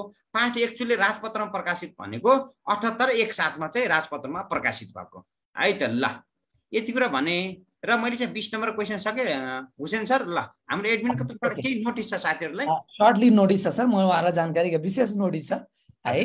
फर्स्ट अफ अल मैले यहाँ जति पनि सुदूरपश्चिमको लागि जोडिनु भएको साथीहरू भोलिको इक्जामको लागि अग्रिम शुभकामना आजै दिए सफलताको धेरै धेरै शुभकामना सँगै एउटा सर्ट क्लिप बनाएका छौँ र तपाईँहरूको लागि सानो गिफ्ट पनि रहेको छ जो चाहिँ हाम्रो विद्यार्थीहरू अथवा जो कोही हाम्रो एक्सवाइजेड अल ओभर नेपालबाटै हुनुहुन्छ अथवा तयारीमा जुट्नु भएको छ अथवा साथी सहकर्मी जतिजना हुनुहुन्छ सबैजना इन्फर्म गर्नु होला तपाईँको इक्जाम सेन्टर बाहिर हाम्रो टिमको तर्फबाट एउटा सानो कोसेली रहेको छ। हो यो मैले एउटा भिडियो मार्फत वान मिनटको भिडियो क्लिप प्ले गर्छु। हेर्नु होला। बाँकी कुरा म सेसन पछि जानकारी गराउनु छु है एकैछिन म स्क्रिन सेयर गरेँ सर है त सर्टली ओके सो प्राय हामीसँग त उस नै जोडिनु भएको छ नि होइन? मलाई यसो जानकारी गराउनु होला। प्राय तपाईँहरू उसकै लागि जोडिनु भएको छ नि होइन?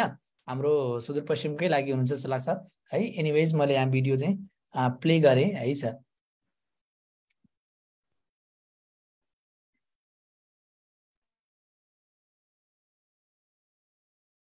नमस्कार।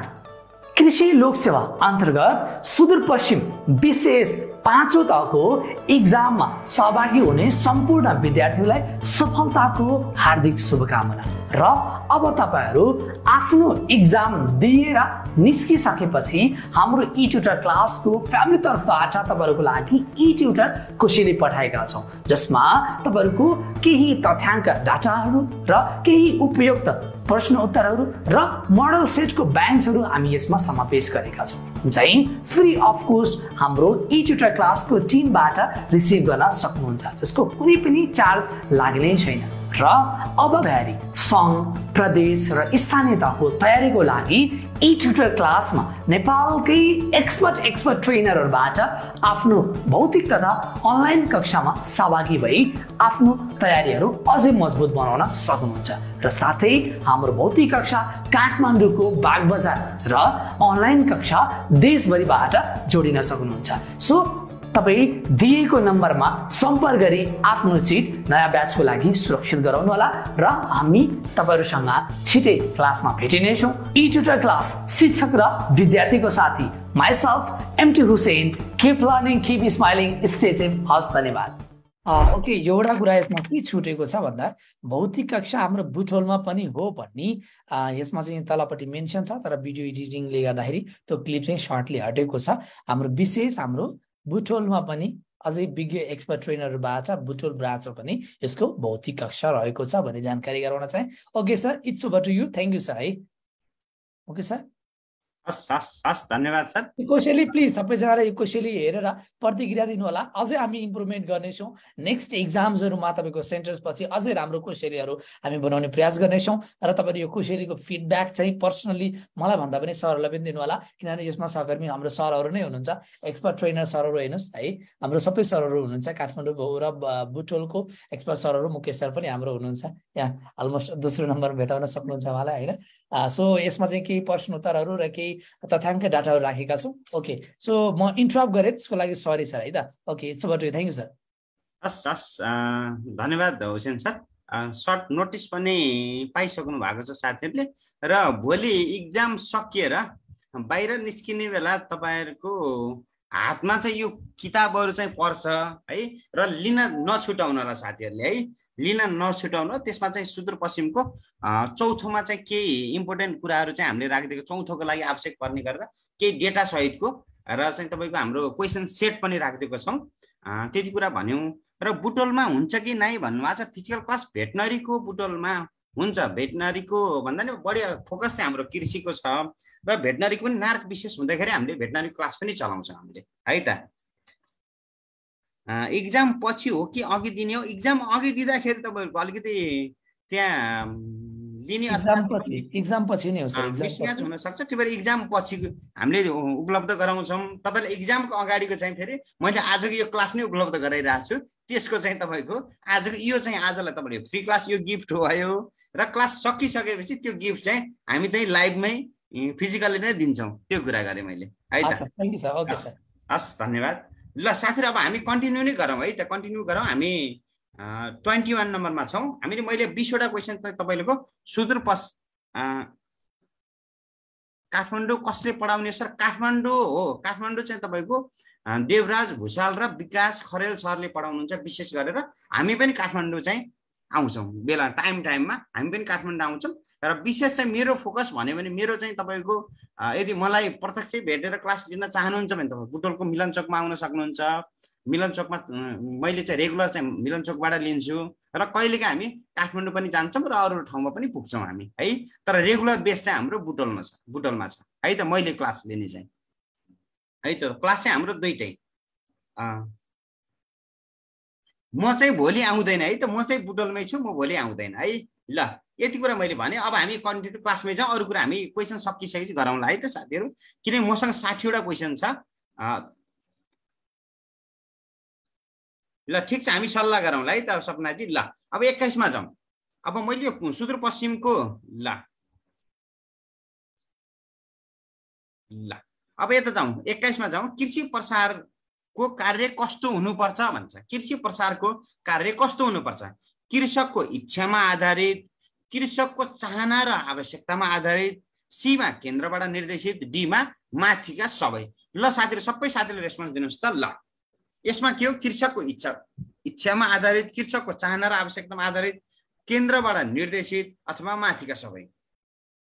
ल एकदमै विचार गरेर मात्रै भन्नुहोस्। प्रसारमा सबैभन्दा साथीहरूले प्रसारमा जानेर बिगार्ने सब्जेक्ट भनेको एउटा प्रसार हो। है क्वेसन नजानेको हुँदैन सबै जानेको हुन्छ नसुनिकन सबै सुनेको हुन्छ। है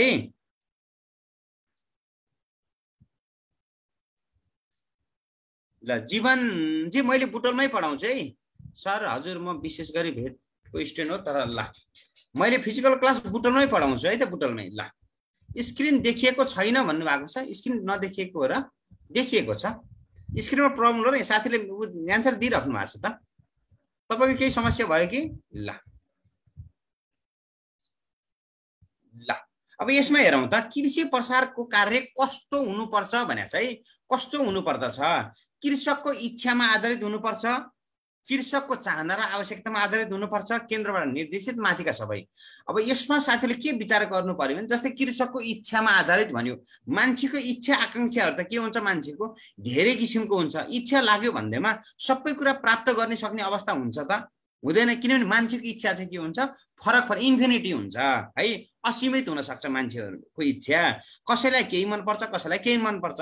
तर त्यो मान्छेको सबैको मान्छेको इच्छा अनुसार हामीले काम गरिदिने हुन्छ त कृषि प्रसारले त्यो सम्भव होला त। त्यो सम्भव हुँदैन हेर्नु साथीहरू। हामीले गर्ने भनेको त्यो कृषकको चाहना र आवश्यकता। है उसको एक्चुअल निड के हो? होइन उसको इन्ट्रेस्ट चाहिँ के हो? त्यो उसको निड र इन्ट्रेस्टको म्याच भयो भने बल्ल त्यसले काम गर्न सक्छ नत्र पनि काम गर्छ जस्तै केन्द्रबाट निर्देशित भनेको छ केन्द्रले एउटा कुरा भन्ला त्यो कुरा जनताको लागि आवश्यक फिट भएन भने त्यो कुराले काम दिन सक्छ त? दिन सक्दैन नि। हो त्यो भएको केसले चाहिँ के हो? यसको चाहिँ माथिका सबै होइन है साथीहरू। यसको चाहिँ तपाईँको कृषकको चाहना र आवश्यकतामा आधारित हुनुपर्छ भनेर चाहिँ यसको राइट एन्सर यो हो हेर्नुहोस्। अब यो प्रसारमा मैले भनिरहेको छु प्रसारमा क्वेसन झुक्काउन खोज्छ होइन? त्यो भएर चाहिँ हामीले एकदमै ख्याल गर्नु पऱ्यो विचार गर्नुपर्छ है त्यो साथीहरू? इच्छा भन्ने कुरा चाहिँ एकदम असीमित कुरा हो है? इन्फिनिटी कुरा हो। त्यो चाहिँ कभर गर्न सक्दैन प्रसारले है त? ल अब बाइसमा जाउँ। नेपालमा कृषि विकासका चुनौतीहरू के के रहेका छन्? कृषि विकासका चुनौतीहरू के के रहेका छन्? कृषिको बजेट र जनशक्तिको कुरा छ। कृषि प्रविधिको प्रयोग र बजारको कुराले हो कि जमिनको अवस्था र स्वामित्व कारणले हो कि माथिको सबै। हो अब यो कन्डिसनमा चाहिँ साथीहरूले माथिका सबै चाहिँ भन्न सक्नुहुन्छ। किनभने कृषि विकासमा यी सबै कुरा चाहिँ अब्स्ट्याकल रूपमा आछन् किनभने बजेटको कुरा गर्नुहुन्छ भने बजेटमा हामीसँग कृषिमा पर्याप्त रूपमा छुट्टिएको अवस्था छैन। जनशक्तिको कुरा गर्नुहुन्छ पर्याप्त जनशक्ति पनि पाएको अवस्था छैन। होइन? अझै कतिपय ठाउँ गाउँपालिका नगरपालिका स्थानीय तहहरू प्राविधिक चाहिँ एकदम अभावै देख्नुहुन्छ। कृषि प्रविधिको प्रयोग गरिरहेको हुनुहुन्छ र र त्यसपछि त्यो प्रविधि प्रयोग पनि सही रूपले सबै ठाउँमा एभाइलेबल भएको छैन एसेसिबलको कुरा छैन। अनि उत्पादन गरेको चिज पनि बजारले मार्केट चाहिँ टोटली मार्केट च्यानलाइज नभएको कारणले गर्दा बजारमा पनि तपाईँ केही इस्युहरू देखिया छ। फेरि बजारमा बिक्रीको इस्यु होइन कि मार्केटको च्यानलाइजको इस्यु हो क्या? किनभने हामीले त इम्पोर्ट त धेरै इम्पोर्ट गरिरहेछौँ तर यहीँ भएको प्रोडक्ट बिका छैन। किन बिका छैन? इन्डियाबाट आएको चिज बिग्ने नेपालको चिज चाहिँ बिक्री नहुने के कारण भन्दाखेरि हाम्रो त्यो चाहिँ तपाईँको मार्केट च्यानलाइज नभएको कारणले गर्दा हो भने अर्को जमिनको अवस्था र चाहिँ जमिन अब सिँचाइको कुरा हेऱ्यो भने एकदम हाम्रो धेरै रेनफिट कन्डिसनमा छ अहिले मात्रै पनि हेऱ्यो भने तपाईँको है? अब अहिले पनि हामीले धेरै जमिन हाम्रो के अरे अनइरिगेटेड कन्डिसनै छ सिचित छैन। स्वामित्व कुरा गर्नु जो मान्छेसँग खेती गर्छ उसँग जमिन छैन जसले खेती गर्दैन उसँग जमिन छ होइन? यो इस्युले गर्दा चाहिँ तपाईँ कृषिमा चाहिँ अब्सटेकल आइरहेको छ यो कुरा भयो माथिका सबैको कुरा है त ल। अब तेइसमा जाउँ। नेपालमा तालिम तथा भ्रमण पद्धति कुन जिल्लाबाट सुरु गरिएको भन्छ? तालिम तथा भ्रमण पद्धति कुन जिल्लाबाट सुरु गरिएको? पर्सा र चितवन जिल्ला दोलखा र सिन्धुपाल्चोक बाह्र र पर्सा चितवन जिल्ला। ल भन्नु साथीहरू यस्तो धेरैले मिलाउनुहुन्छ। ल यज्ञ धामीजी एन्सर मिस्टेक भएको हो कि के भएको हो? यसरी मिस्टेक गर्नु भएन है। ट्रेनिङ एन्ड भिजिट पद्धति अथवा ट्रेनिङ तालिम र भ्रमण पद्धति टिएनभी सिस्टम कहाँबाट भयो भन्दाखेरि बाह्र र बिआइएन सीबाट टिएनभी कहाँबाट भयो? बिआइएन सीबाट भनेर पढाएको नि मैले। टिएनभी सिस्टम बिआइएन सी बाह्र र पर्साबाट है त? अब पर्सा र चितवनबाट के भयो? ब्लकको कुरा सुरु भयो भने दोलखा र सिन्धुपाल्चोकबाट टुकीको कुरा। है? चितवनबाट आइपिएमको कुरा। यिनी चाहिँ यसो सम्झिराख्नुपर्छ है साथी यो चाहिँ यो तपाईँको आइदिन सक्छ क्वेसनहरू। टुकीको कुरा गऱ्यो भने दोलखा र सिन्धुपाल्चोक पर्सा र चितवन ब्लकको कुरा चितवनबाट चाहिँ आइपिएमको कुरा। यो चाहिँ सम्झिराख्नु होला साथीहरूले। ल। ठिक छ। अब यता जाउँ। कृषकहरूको ज्ञान तथा सिपमा वृद्धि गर्न के गर्नुपर्छ? कृषकको ज्ञान तथा सिपमा वृद्धि गर्न के गर्नुपर्छ? ल भन्नु त साथीहरू। तालिम तथा सरी भन्न पर्दैन है एक केजी भन्न पर्दैन। मैले तपाईँलाई इन्फर्मेसन दिएको तपाईँले चाहिँ भोलिको लागि चाहिँ तपाईँ नबिगार्नु होला भनेर सजेस्ट गरेको। सरीको कुरै छैन। एन्सर जति मिस्टेक दिनुहोस् केही छैन। तर तपाईँलाई भोलि चाहिँ बिगार्नु भएन मेरो अनुरोध तपाईँहरूलाई। किन तपाईँहरूको चाहिँ नाम निस्केको हामीले हेर्न चाहन्छौँ क्या? है तपाईँहरूले चाहिँ सेतो सर्ट निलो प्यान्ट लगाएको चाहिँ हामीलाई हेर्ने हाम्रो इच्छा हो नि त। है त्यो भावनाले। ल कृषकको ज्ञान तथा सिपमा वृद्धि गर्न के गर्नुपर्छ? तालिम प्रदान गर्नुपर्दछ नतिजा प्रदर्शन गर्नुपर्दछ तरिका प्रदर्शन गर्नुपर्छ अथवा माथिका सबै। ल भन्नु त साथीहरू यसमा त सजिलो छ। माथिका सबै। किनभने कृषि प्रसारले के काम गर्छ भन्दाखेरि के एसए भन्छ नि होइन? Change in knowledge change in skill र चेन्ज इन एटिट्युड तिनवटा कुरामा चेन्ज गर्ने हो होइन? यी सबै भनेका के हुन्? तपाईँ कृषि प्रसारकै के हुन्? एक्टिभिटिजको कुरा भयो होइन? ल त्यो कुरा भयो। अब पच्चिसमा जाउँ। ग्रहण प्रक्रियाको सबैभन्दा धेरै ग्रहणकर्ता कुन वर्गमा रहेका हुन्छन्? ग्रहण प्रक्रियाको सबैभन्दा धेरै ग्रहणकर्ता कुन वर्गमा रहेका हुन्छन्? ल साथीहरू भन्नुहोस् त। इनोभेटरमा रहेका हुन्छन् अर्ली एडाप्टरमा हुन्छ अर्ली मेजोरिटी हुन्छ लेग आर्ट्समा हुन्छ। कतिमा हुन्छ? ल भन्नुहोस् त। हो यसमा के भन्नु पर्यो हामीले चाहिँ अर्ली मेजोरिटी हुनु पर्यो अब यहाँ अर्को चाहिँ लेट मेजोरिटी भनेर आएको भए के हुन्थ्यो? लेट मेजोरिटी अर्ली मेजोरिटी बोथमा हुन्थ्यो। होइन? अब इनोभेटरमा त कति पर्सेन्ट हुन्छ? जम्मा टु पोइन्ट फाइभ पर्सेन्ट हुन्छ। अर्ली एडप्टरमा कति पर्सेन्ट हुन्छ? तेह्र पोइन्ट फाइभ पर्सेन्ट हुन्छ। है तेह्र पोइन्ट पाँच। है अर्ली मेजोरिटी र लेट मेजोरिटीमा कति पर्सेन्ट हुन्छ? चौतिस चौतिस पर्सेन्ट हुन्छ। र लेग आर्ट्सको सोह्र पर्सेन्ट यो भोलिको लागि एकदमै भोलिको सम्भावित क्वेसन एउटा यो हो। यो हो। अनि तपाईँको स्टेज के अरे अब तपाईँको स्टेप्स स्टेप्स अफ चाहिँ एडप्सन भनेर पनि सोधिदिन सक्छ। एआइटिए भनेर। यो चाहिँ सम्झिराख्नु ल एवारनेस इन्ट्रेस्ट इभ्यालुएसन ट्रायल र एडप्सनको कुरा छ ग्रहण प्रक्रियाका चाहिँ कतिवटा तह हुन्छन् कतिवटा चरण हुन्छन् भन्ने टाइपले यो क्वेसन पनि आउन सक्छ। साथीहरूले ख्याल गर्नु होला तपाईँको एवारनेस इन्ट्रेस्ट इभ्यालुएसन ट्रायल र एडप्सनको कुरा एउटा त्यो कुरा हो र यो ग्रहण प्रक्रिया चाहिँ फिजिकल प्रोसेस हो अथवा यो चाहिँ तपाईँको मेन्टल प्रोसेस हो भनेर चाहिँ पनि सोधिदिन सक्छ। त्यो चाहिँ नितान्त मेन्टल प्रोसेस कुरा चाहिँ ख्याल गर्नु होला साथीहरू मलाई अहिले फेसबुकमा मेसेज नदिनु न। है फेसबुकमा उसमा मेसेज नदिनु त डिस्टर्ब हुन्छ मलाई। है अहिले पछि म्यासेज दिनुहोस् पछि कल गर्नुहोस् है। अहिले चाहिँ म्यासेज नदिनु है त। ल यो कुरा भने मैले। ल अब हामी छब्बिसमा जाउँ। नतिजा पर्दछन्। कृषि प्रसारको कुन तरिका अन्तर्गत पर्दछ? है क्वेसन मैले सबै अहिले मेरो फेसबुक पेजमा मैले राखिदिन्छु। मेरो नयाँ फेसबुक पेज छ साथीहरू।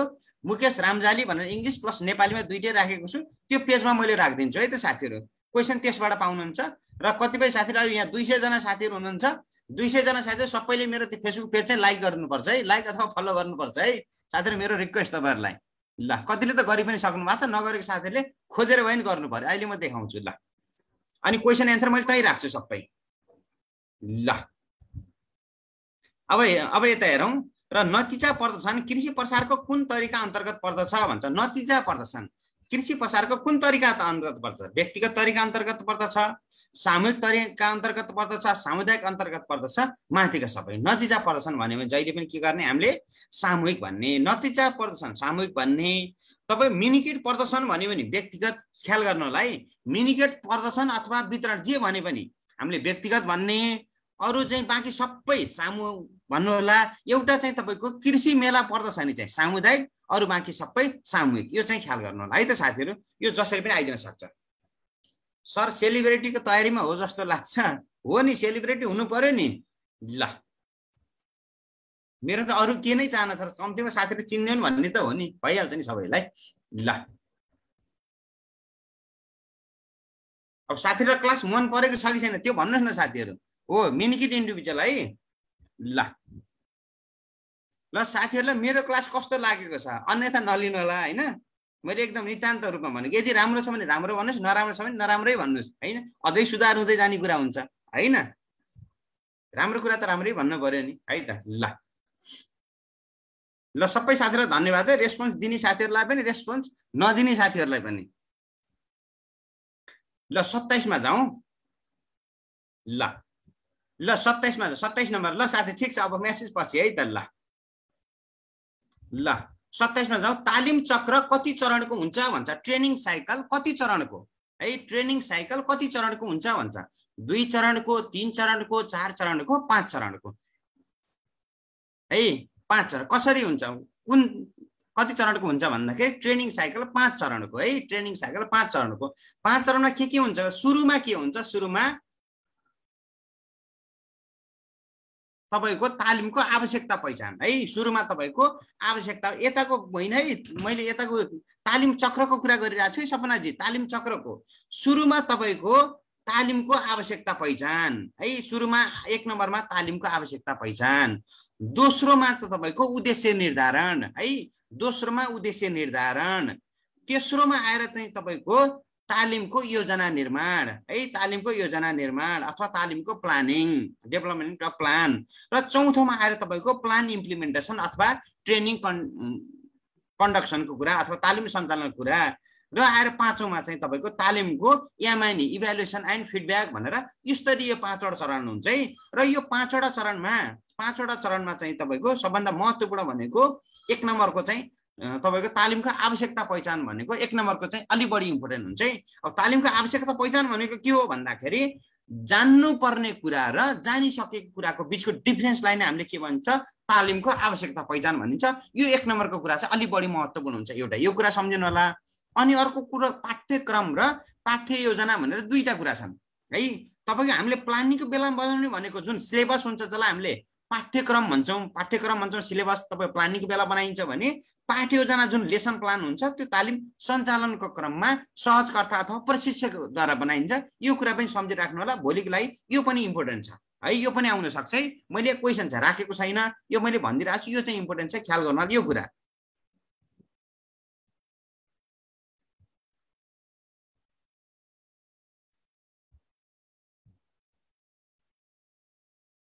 ल दिपा केसीजी मिनी किट प्रदर्शन समूहगत हो सर।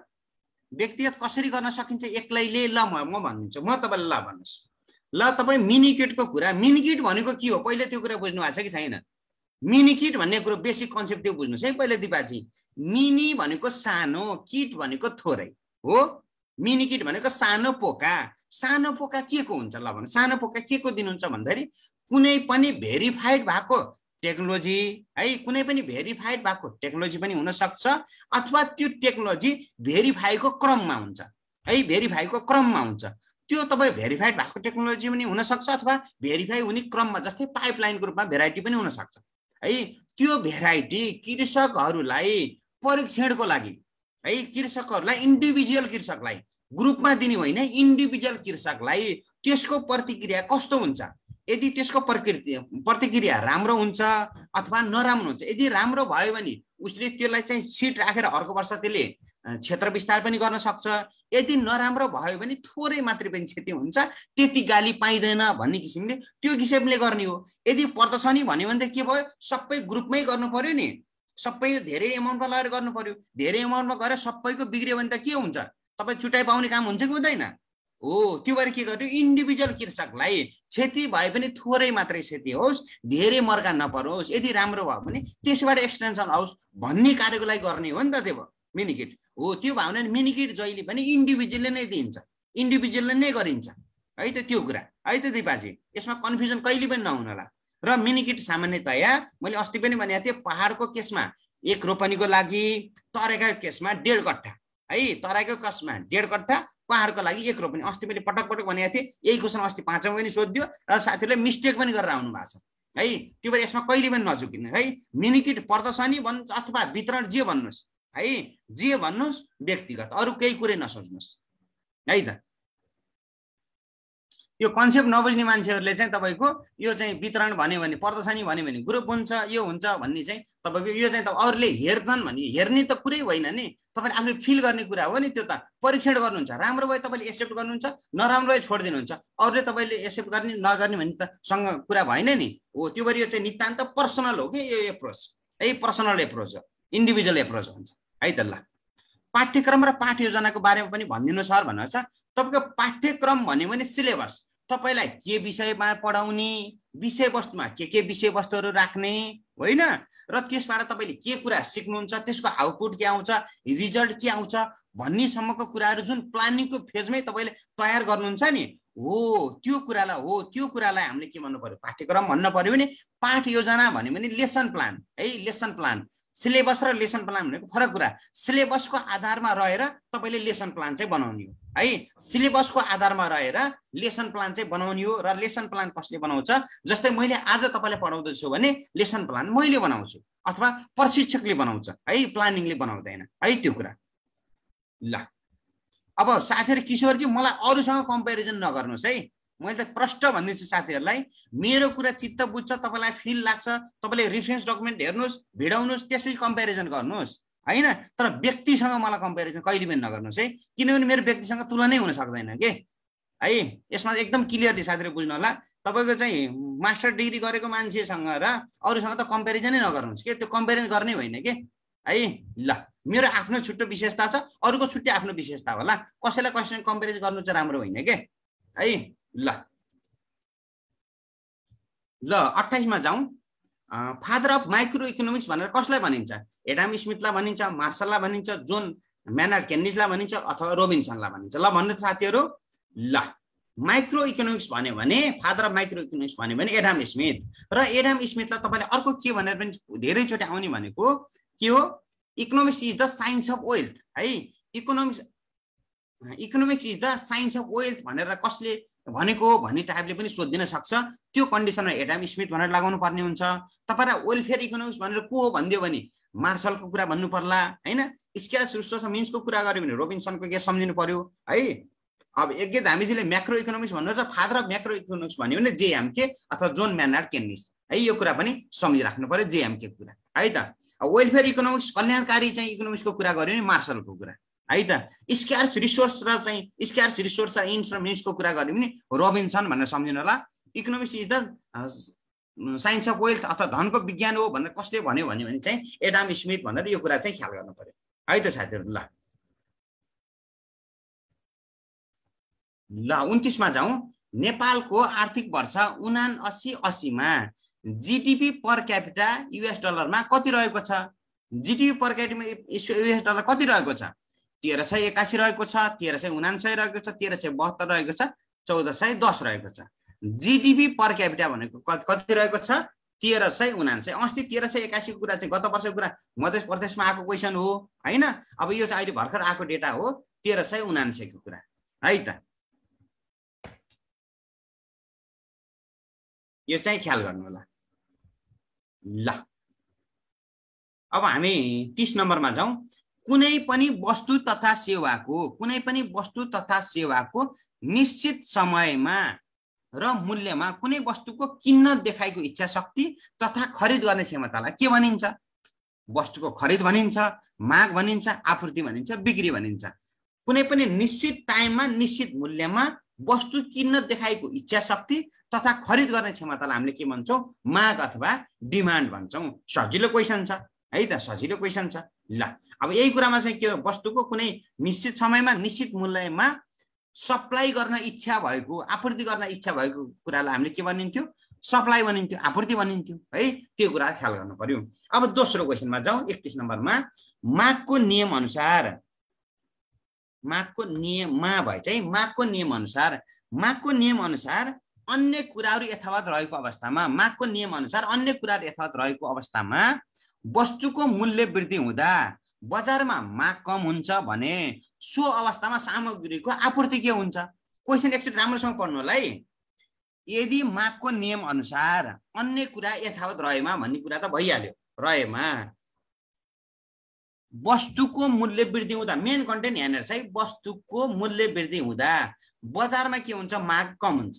हो बजारमा माग के हुन्छ भने सो अवस्थामा सामग्रीको आपूर्ति के हुन्छ भनेर सोध्यो। सामग्रीको आपूर्ति के हुन्छ भनेर सोध्यो। ल भन्नु साथीहरू। कम हुन्छ आपूर्ति बढी हुन्छ केही फरक हुँदैन माथिका सबै। ल एकदमै ख्याल गरेर है साथीहरू।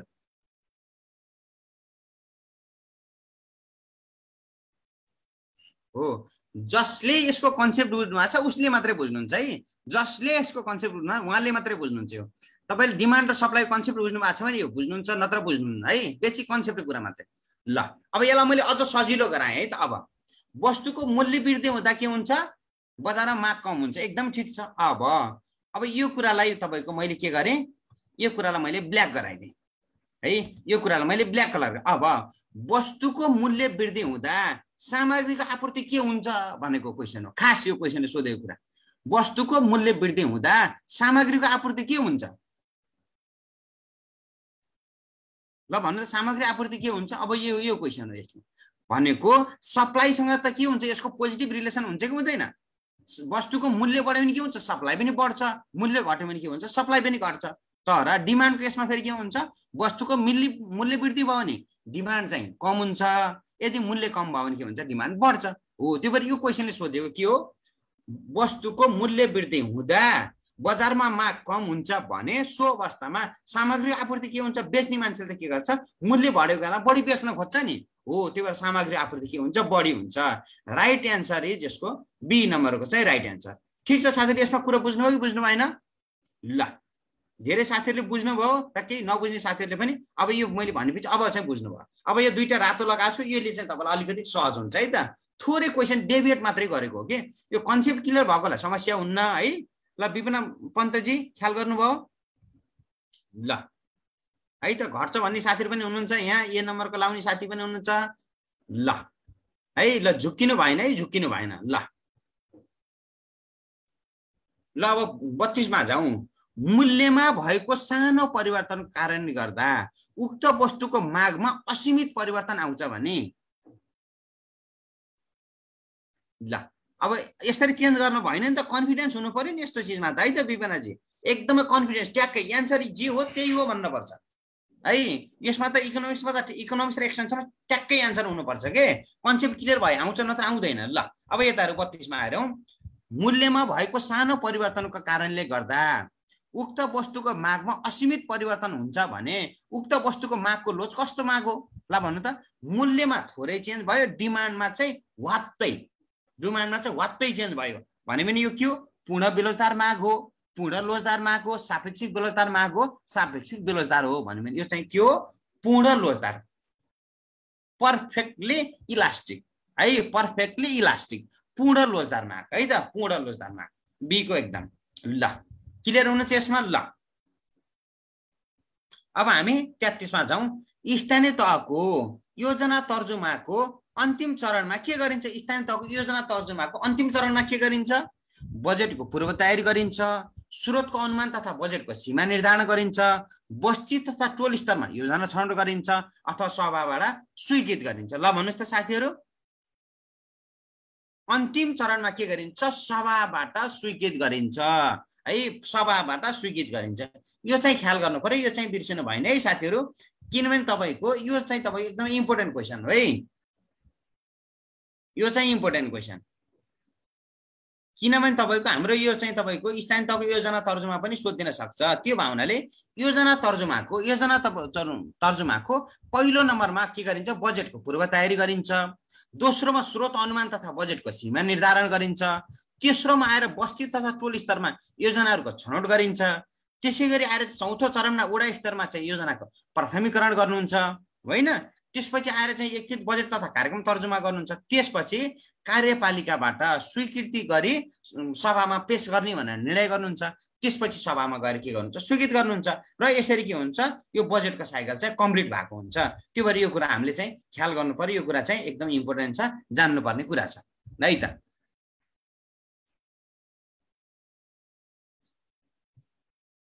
हो। अब यसपालिको बजेटमा चाहिँ सशर्तको बजेट चाहिँ बढी छ है। हुनपर्ने वित्तीय सम्मानीकरणको बढी हो होइन? तर अहिले यो पालिको बजेटमा चाहिँ सशर्तको बजेट चाहिँ बढी छ। है त ल अब यसमा जाउँ। चौतिसमा धेरै उत्पादनकर्ता र खरिदकर्ता सीमित मात्रा भएको बजार कस्तो प्रकारको बजार हो भन्छ। उत्पादनकर्ता के छ? धेरै छन् र खरिदकर्ता के छ? सीमित मात्रामा भएको बजार। है कस्तो बजार हो? मोनोपोली मार्केट हो मोनोप्सनी मार्केट हो ओलिकोप्सनी मार्केट हो ओलिकोपोली मार्केट हो। ल साथीहरू भन्नुहोस् त उत्पादनकर्ता धेरै भएको र खरिदकर्ता सीमित भएको बजार भनेको कस्तो बजार हो? ल। झुक्किनु भएन है साथीहरू मोनोपोली मार्केट भनेको बजारमा उत्पादनकर्ता अथवा खरिदकर्ता धेरै छन्।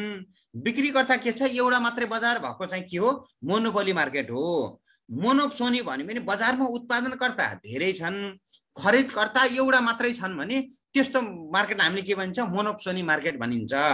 अब ओलिकोप सोनी भनेको बजारमा उत्पादनकर्ता धेरै छन् है खरिदकर्ता के छन् सीमित मात्रामा छन् भने त्यस्तोलाई हामीले के भन्छ ओलिकोप सोनी मार्केट भनिन्छ।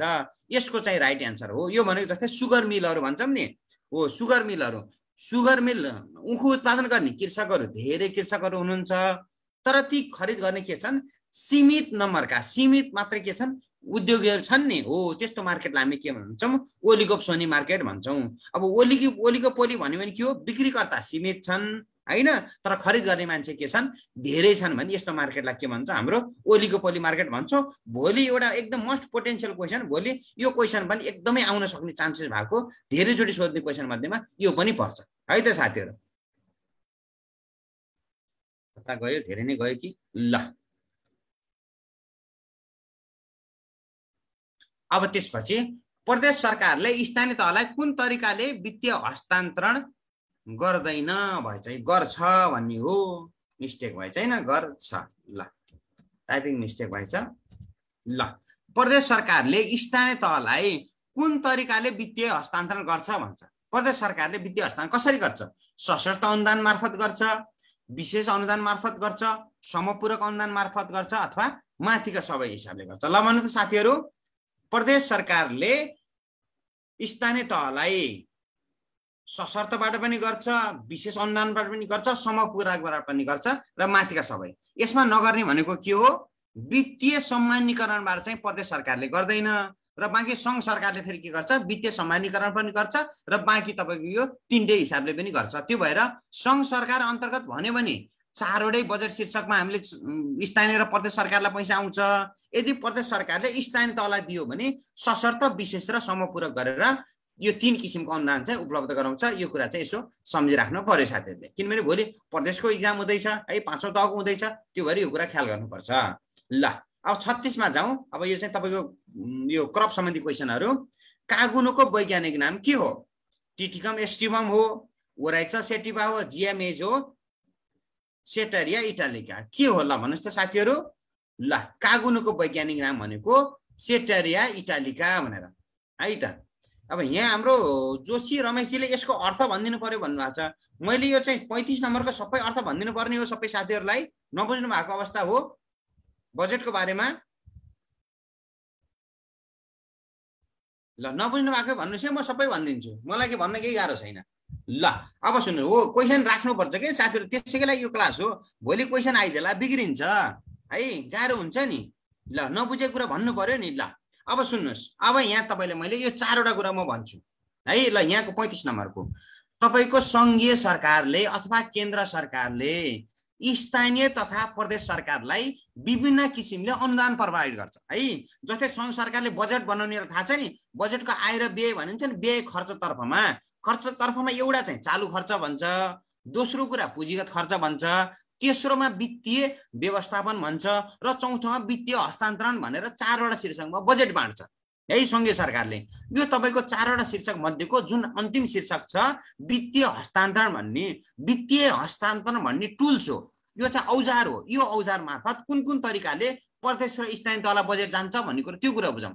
एक नम्बरमा छ वित्तीय सम्मानीकरण भन्छ।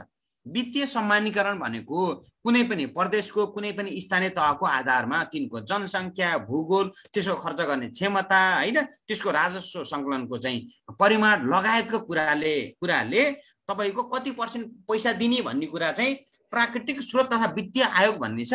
त्यो आयोगले एउटा चाहिँ सूत्र निर्धारण गरेको छ।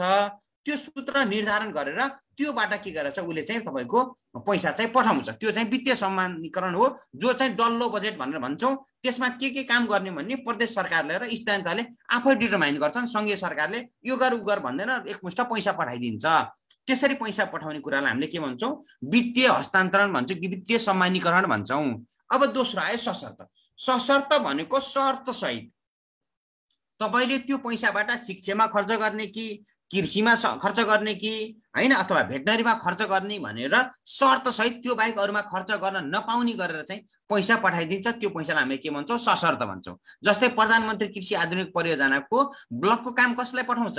प्रदेश सरकारलाई होइन? पकेट काम कसले गर्ने भनेको छ? स्थानीय सरकारलाई। अब स्थानीय सरकारमा पकेटको यतिवटा कार्यक्रम चलाउने भनेर पठाउँछ। पकेटको तरकारीको पकेट चलाउने बाख्राको पकेट चलाउने भनेर पैसा पठाउँछ सर्तै तोकेर त्यो पकेट बाहेक अरूमा खर्च गर्न पाउनुहुन्न नि। हो त्यस्तो कुरा भनेको सशर्त अनुदान हो। र अर्को आएर विशेष अनुदान भन्छ। विशेष अनुदान भनेको कुनै क्षेत्र विशेषलाई टार्गेट गरेर त्यो कुरालाई अपलिट छ अथवा त्यसलाई चाहिँ प्रवर्धन छ भने त्यो किसिमले विशेष तरिकाले विशेष बजेटै छुट्याएर पठाइन्छ। त्यसलाई हामी के भन्छ? विशेष अनुदान भन्छ र त्यो त्यो पनि टार्गेट गरेको काममै प्रयोग गर्नुपर्छ। त्यो कुरा भयो। अनि त्यसपछि आएर समपूरक अनुदान भन्छ। समपूरक अनुदान भनेको तपाईँको प्रदेश सरकारले अथवा स्थानीय तहले कुनै आयोजना गर्दैछन् भने कुनै आयोजना सञ्चालन गर्दैछन् भने त्यो आयोजना सञ्चालन गर्ने क्रममा उनीहरूले प्रोजेक्ट बनाएको हुन्छन् र त्यो स्थानीय तह अथवा प्रदेश सरकारले त्यो बजेट सबै कभर गर्न सक्दैन।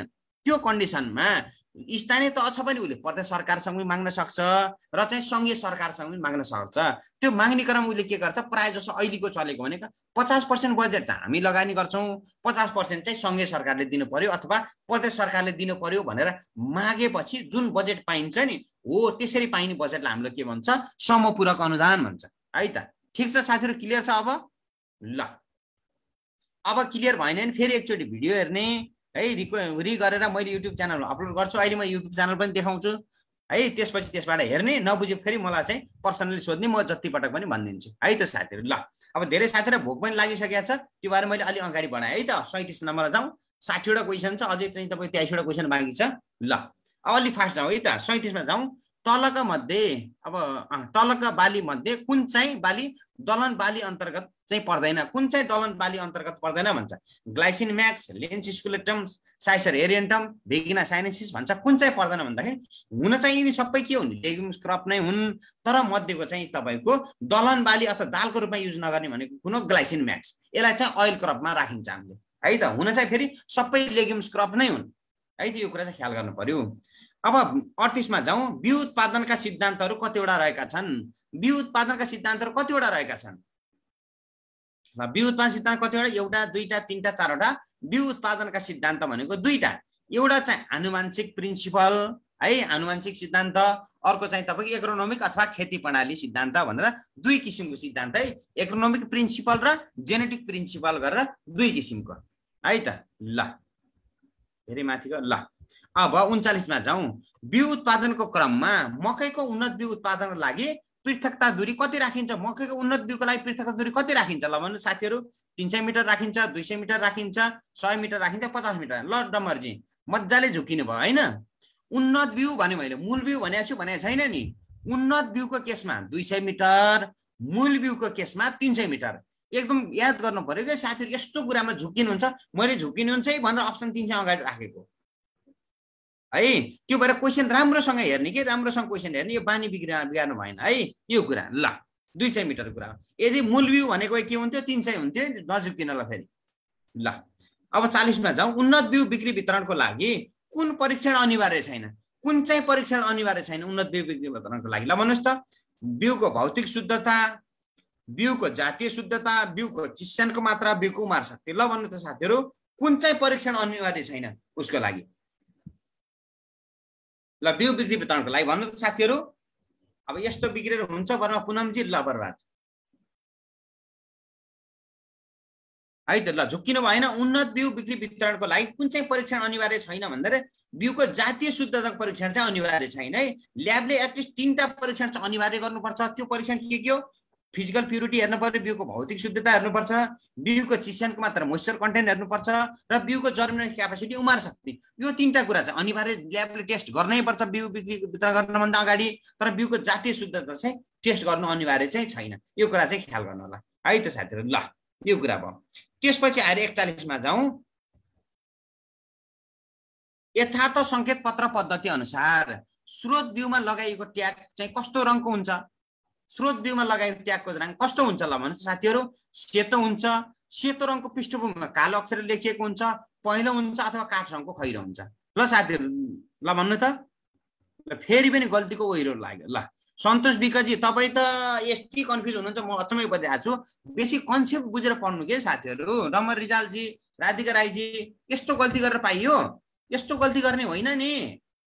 सेतो रङको पृष्ठभूमिमा कालो अक्षरले लेखिएको हुन्छ। प्रश्न यहाँ भनेको छ सेतो तपाईँलाई झुक्काउन दिएको छ यदि तपाईँले यस्तो यो नलेखेको भए के हुन्थ्यो? ए नम्बरको हुन्थ्यो। तर यहाँ त यो लेखिदियो नि। एक्चुअल त यही हो नि सेतो पृष्ठभूमिको रङ। सेतो पृष्ठभूमिमा कालो अक्षर लेखिएको हुन्छ।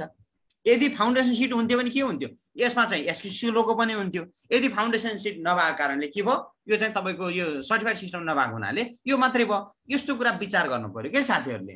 ख्याल गरेर पढ्नु पऱ्यो है त ल। हो एन्सर बी यदि चाहिँ यस्तो नआएको कन्डिसनमा सेतो लाग्नु पर्यो। है त यो झुक्काउन राख्छ कि यस्तो क्वेसनहरू ख्याल गर्नु होला। अब बयालिसमा जाउँ। मकैको उन्नत बिउमा उमार शक्ति कति हुनुपर्छ? मकै बिउमा उमार शक्ति कति हुनुपर्छ? Eighty five percent eighty percent seventy five percent ninety five percent ल भन्नु त। हो अब चाहिँ मकै बिउ उमार शक्ति कति हुन्छ? एट्टी फाइभ पर्सेन्ट ल ठिक छ। ल। अब त्रिचालिसमा जाउँ। नेपालमा बाढी आउने वा पानी बढी पर्ने क्षेत्रका लागि तलको मध्ये कुन धान सिफारिस गरेको छ? ल भन्नुहोस् त। बढी पानी आउने र बाढी आउने उसको लागि सावा सब एक र सोडा सब एक गङ्गासागर एक गङ्गासागर दुई माथिका सबै भन्छ। यसमा चाहिँ के हो?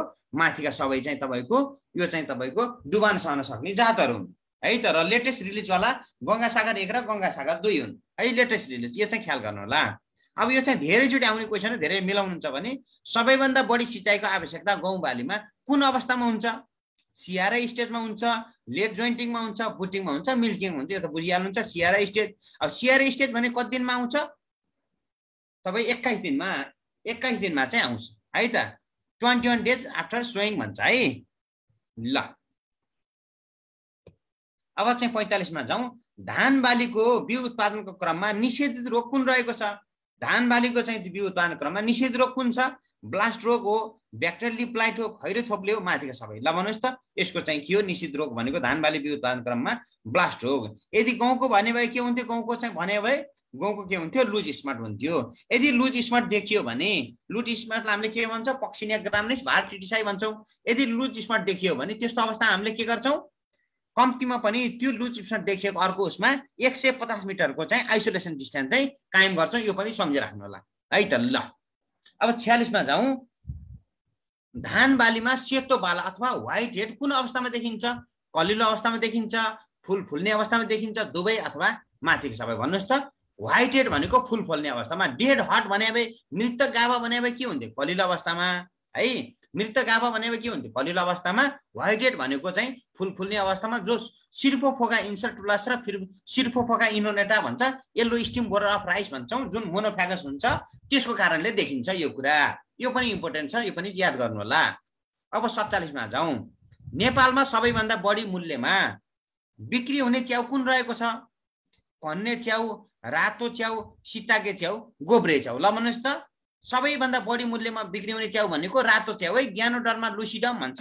यो सबैभन्दा बढी मूल्यमा बिक्री हुने च्याउ है। काठमा उमारिन्छ यो है। रातो च्याउ ज्ञानो डरमा भन्छ है। डिएक्सनको प्रोडक्ट खानु भएको छैन साथीले? हो डिएक्सनवालाले यही रातो च्याउलाई प्रचार गर्ने हो है। ल ल अडचालिसमा जाउँ। एपी सेरेना जातको मौरी नेपालको कुन क्षेत्रमा बढी गरिन्छ? एपी सेरेना जातको मौरी नेपालको कुन क्षेत्रमा बढी गरिन्छ? पहाडी क्षेत्रमा तराई क्षेत्रमा उच्च पहाडी क्षेत्रमा माथिमा माथिका सबै। यो चाहिँ कहाँ गरिन्छ? पहाडी क्षेत्रमा हुन चाहिँ तपाईँको उच्च पहाडीमा पनि हुन्छ तर अलि बढी कहाँ गरिन्छ? पहाडी क्षेत्रमा गरिन्छ। मेलिफेरा भयो भने अब के हुन्थ्यो? तराईको क्षेत्रमा बढी गरिन्थ्यो। यो कुरा चाहिँ ख्याल गर्नु पर्यो। है त ल। अब आलुको अगौटे डडुवा के कारण लाग्छ? आलुको अगौटे डडुवा के कारण लाग्छ? Alternaria solani Phytophthora infestans Rhizoctonia solani अथवा अलपदेव। ल भन्नु त। आलुको अगौटी डोडा के कारण लाग्छ? अल्टरनेरिया सोलानी कारणले। यदि पछौटे डोडा भए के हुन्थ्यो? पछौटीको पी हुन्छ पीबाट फाइटोथोरा इन्फेस्टेन्स। है त पछौटे डटुवा केस ल। पचासमा जाउँ। पिटिएम। कुन बालीको प्रमुख किरा रहेको छ? भन्छ पिटिएम। पोट्याटो ट्युबर मत है पिटिएम भनेको पोट्याटो ट्युबर मत यो चाहिँ कुन बालीको प्रमुख किरा रहेको छ? काउली समूहको फर्सी छ आलु टमाटर बाली। कुनको छ? भन्दाखेरि यो चाहिँ पिटिएम के हो? तपाईँको आलु बालीको यदि डिबिएम भयो भने के हुन्थ्यो? डायमन्ड प्याकमा भएको भए के हुन्थ्यो? काउले समूह हुन्थ्यो। पाइरेस ब्रासिकेसी भने अब के को हुन्थ्यो? बन्दाको हुन्थ्यो। अब टमाटरमा त के हुन्छ? हेलीको भरमा आर्मी जरा चाहिँ अलिकति बढी छ। अब फर्सी समूहमा फेरि के हुन्थ्यो? फर्सी समूहमा चाहिँ तपाईँको फ्रुट फ्लाइ है? यो चाहिँ यसो ख्याल गर्नुपर्छ है? यस्तो कुराहरू यसो जानिराख्नुपर्छ जो चाहिँ इम्पोर्टेन्ट छ। ल। अब आरबिपिआर आरबिपिआरबाट कुन विषादीको परीक्षण गर्न सकिन्छ? आरबिपिआर कुन विषादीको परीक्षण गर्न सकिन्छ? ल भन्नुहोस् साथीहरू अर्ग्यानो फस्फेट र carbamate पिवाई groups DTC group all of देव ल साथीहरू ल भन्नुहोस् त। ल। काजी साहब भन्नेले मात्रै मिलाउनु भएको छ? ल। हो अरू साथी हो। बल्ल नरेन्द्रजी मैले भनिरहेको छु नि तपाईँ सन्तोषजी तपाईँले त एन्सर राम्रोसँग पढ्नुहोस् के? एकचोटि एन्सर पढ्नुहोस्। नघोक्नुहोस् के? घोकेर हुँदैन बिग्रिन्छ घोकेको कुराले। भनिरहेको छु त आरबिपिआर कुन विषादीको परीक्षण गर्न सकिन्छ? आरबिपिआर कुन कुन विषादी परीक्षण गर्न सकिन्छ? अर्ग्यानो फस्फेट कार्बोमेट पनि गर्न सकिन्छ। पाइरेथिनाइट ग्रुप्स भन्छ पिवाई ग्रुप पनि हेर्नु पर्यो होइन? अनि डिटिसी दाई थायो कार्बोनेट ग्रुप्स भनेर यो तिनटै गर्न सकिन्छ। है? कुन चाहिँको परीक्षण गर्न सकिन्छ भन्यो भने तिनटै ग्रुपको गर्न सकिन्छ। त्यो भएर अल अफ द अभाव अनि अब अर्को क्वेसन सुन्नु। यसमा प्रति प्रश्न। अब अर्को प्रश्न के हो भने हाल नेपालमा आरबिपिआरबाट कुन चाहिँ विषादीको परीक्षण गरेको छ भन्यो भने के हो?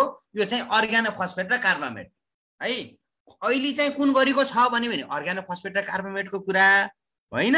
र चाहिँ तपाईँको कुन चाहिँ गर्न सकिन्छ भन्यो भने यी सबै अर्ग्यानो फस्फेट पनि गर्न सकिन्छ कार्बोमेट गर्न सकिन्छ पाइरोथिनेट ग्रुप पनि गर्न सकिन्छ डायोथायो कार्बोनेट ग्रुप डिटिसी भन्छ यो पनि गर्न सकिन्छ। त्यो कुरा है त? हो पिवाई पनि हो डिटिसी पनि हो। अब घोक्नु भयो पढ्नु भएन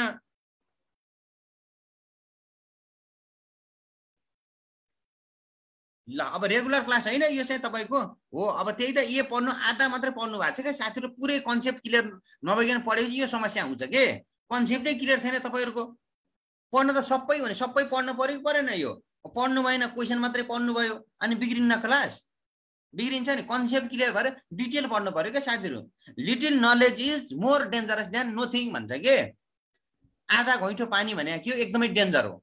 है पुरा घैँटो भरिनी गरेर पढ्नु पऱ्यो क्या साथीहरू? त्यही भएर तपाईँले जतिचोटि इक्जाम दिए पनि निस्किन्न मेरो त भन्नुहुन्छ नि समस्या त्यही हो।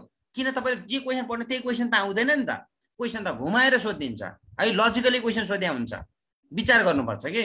नेपालको केसमा कुन चाहिँ परीक्षण गरिएको छ भने भए तपाईँले भनेको ठिक थियो। तर यहाँ त कुन गर्न सकिन्छ भनेको छ नि। गर्न त सबै तिनटै ग्रुपको सकिन्छ। त्यो कुरा हो। ल अब बाहुन्नमा जाउँ। फल कुहाउने औषाको नियन्त्रणको लागि तलको मध्ये के उपाय गरिन्छ? फल पाउने अवस्थाको लागि फ्रुट फ्लाईको लागि है? फेरोमोन ट्र्यापको प्रयोग गर्ने खेत तथा बारी सफा राख्ने प्रोटिन बेडको प्रयोग गर्ने माथिका सबै हो। अब यो केसमा के भयो? माथिका सबै है त? ल अब जाउँ।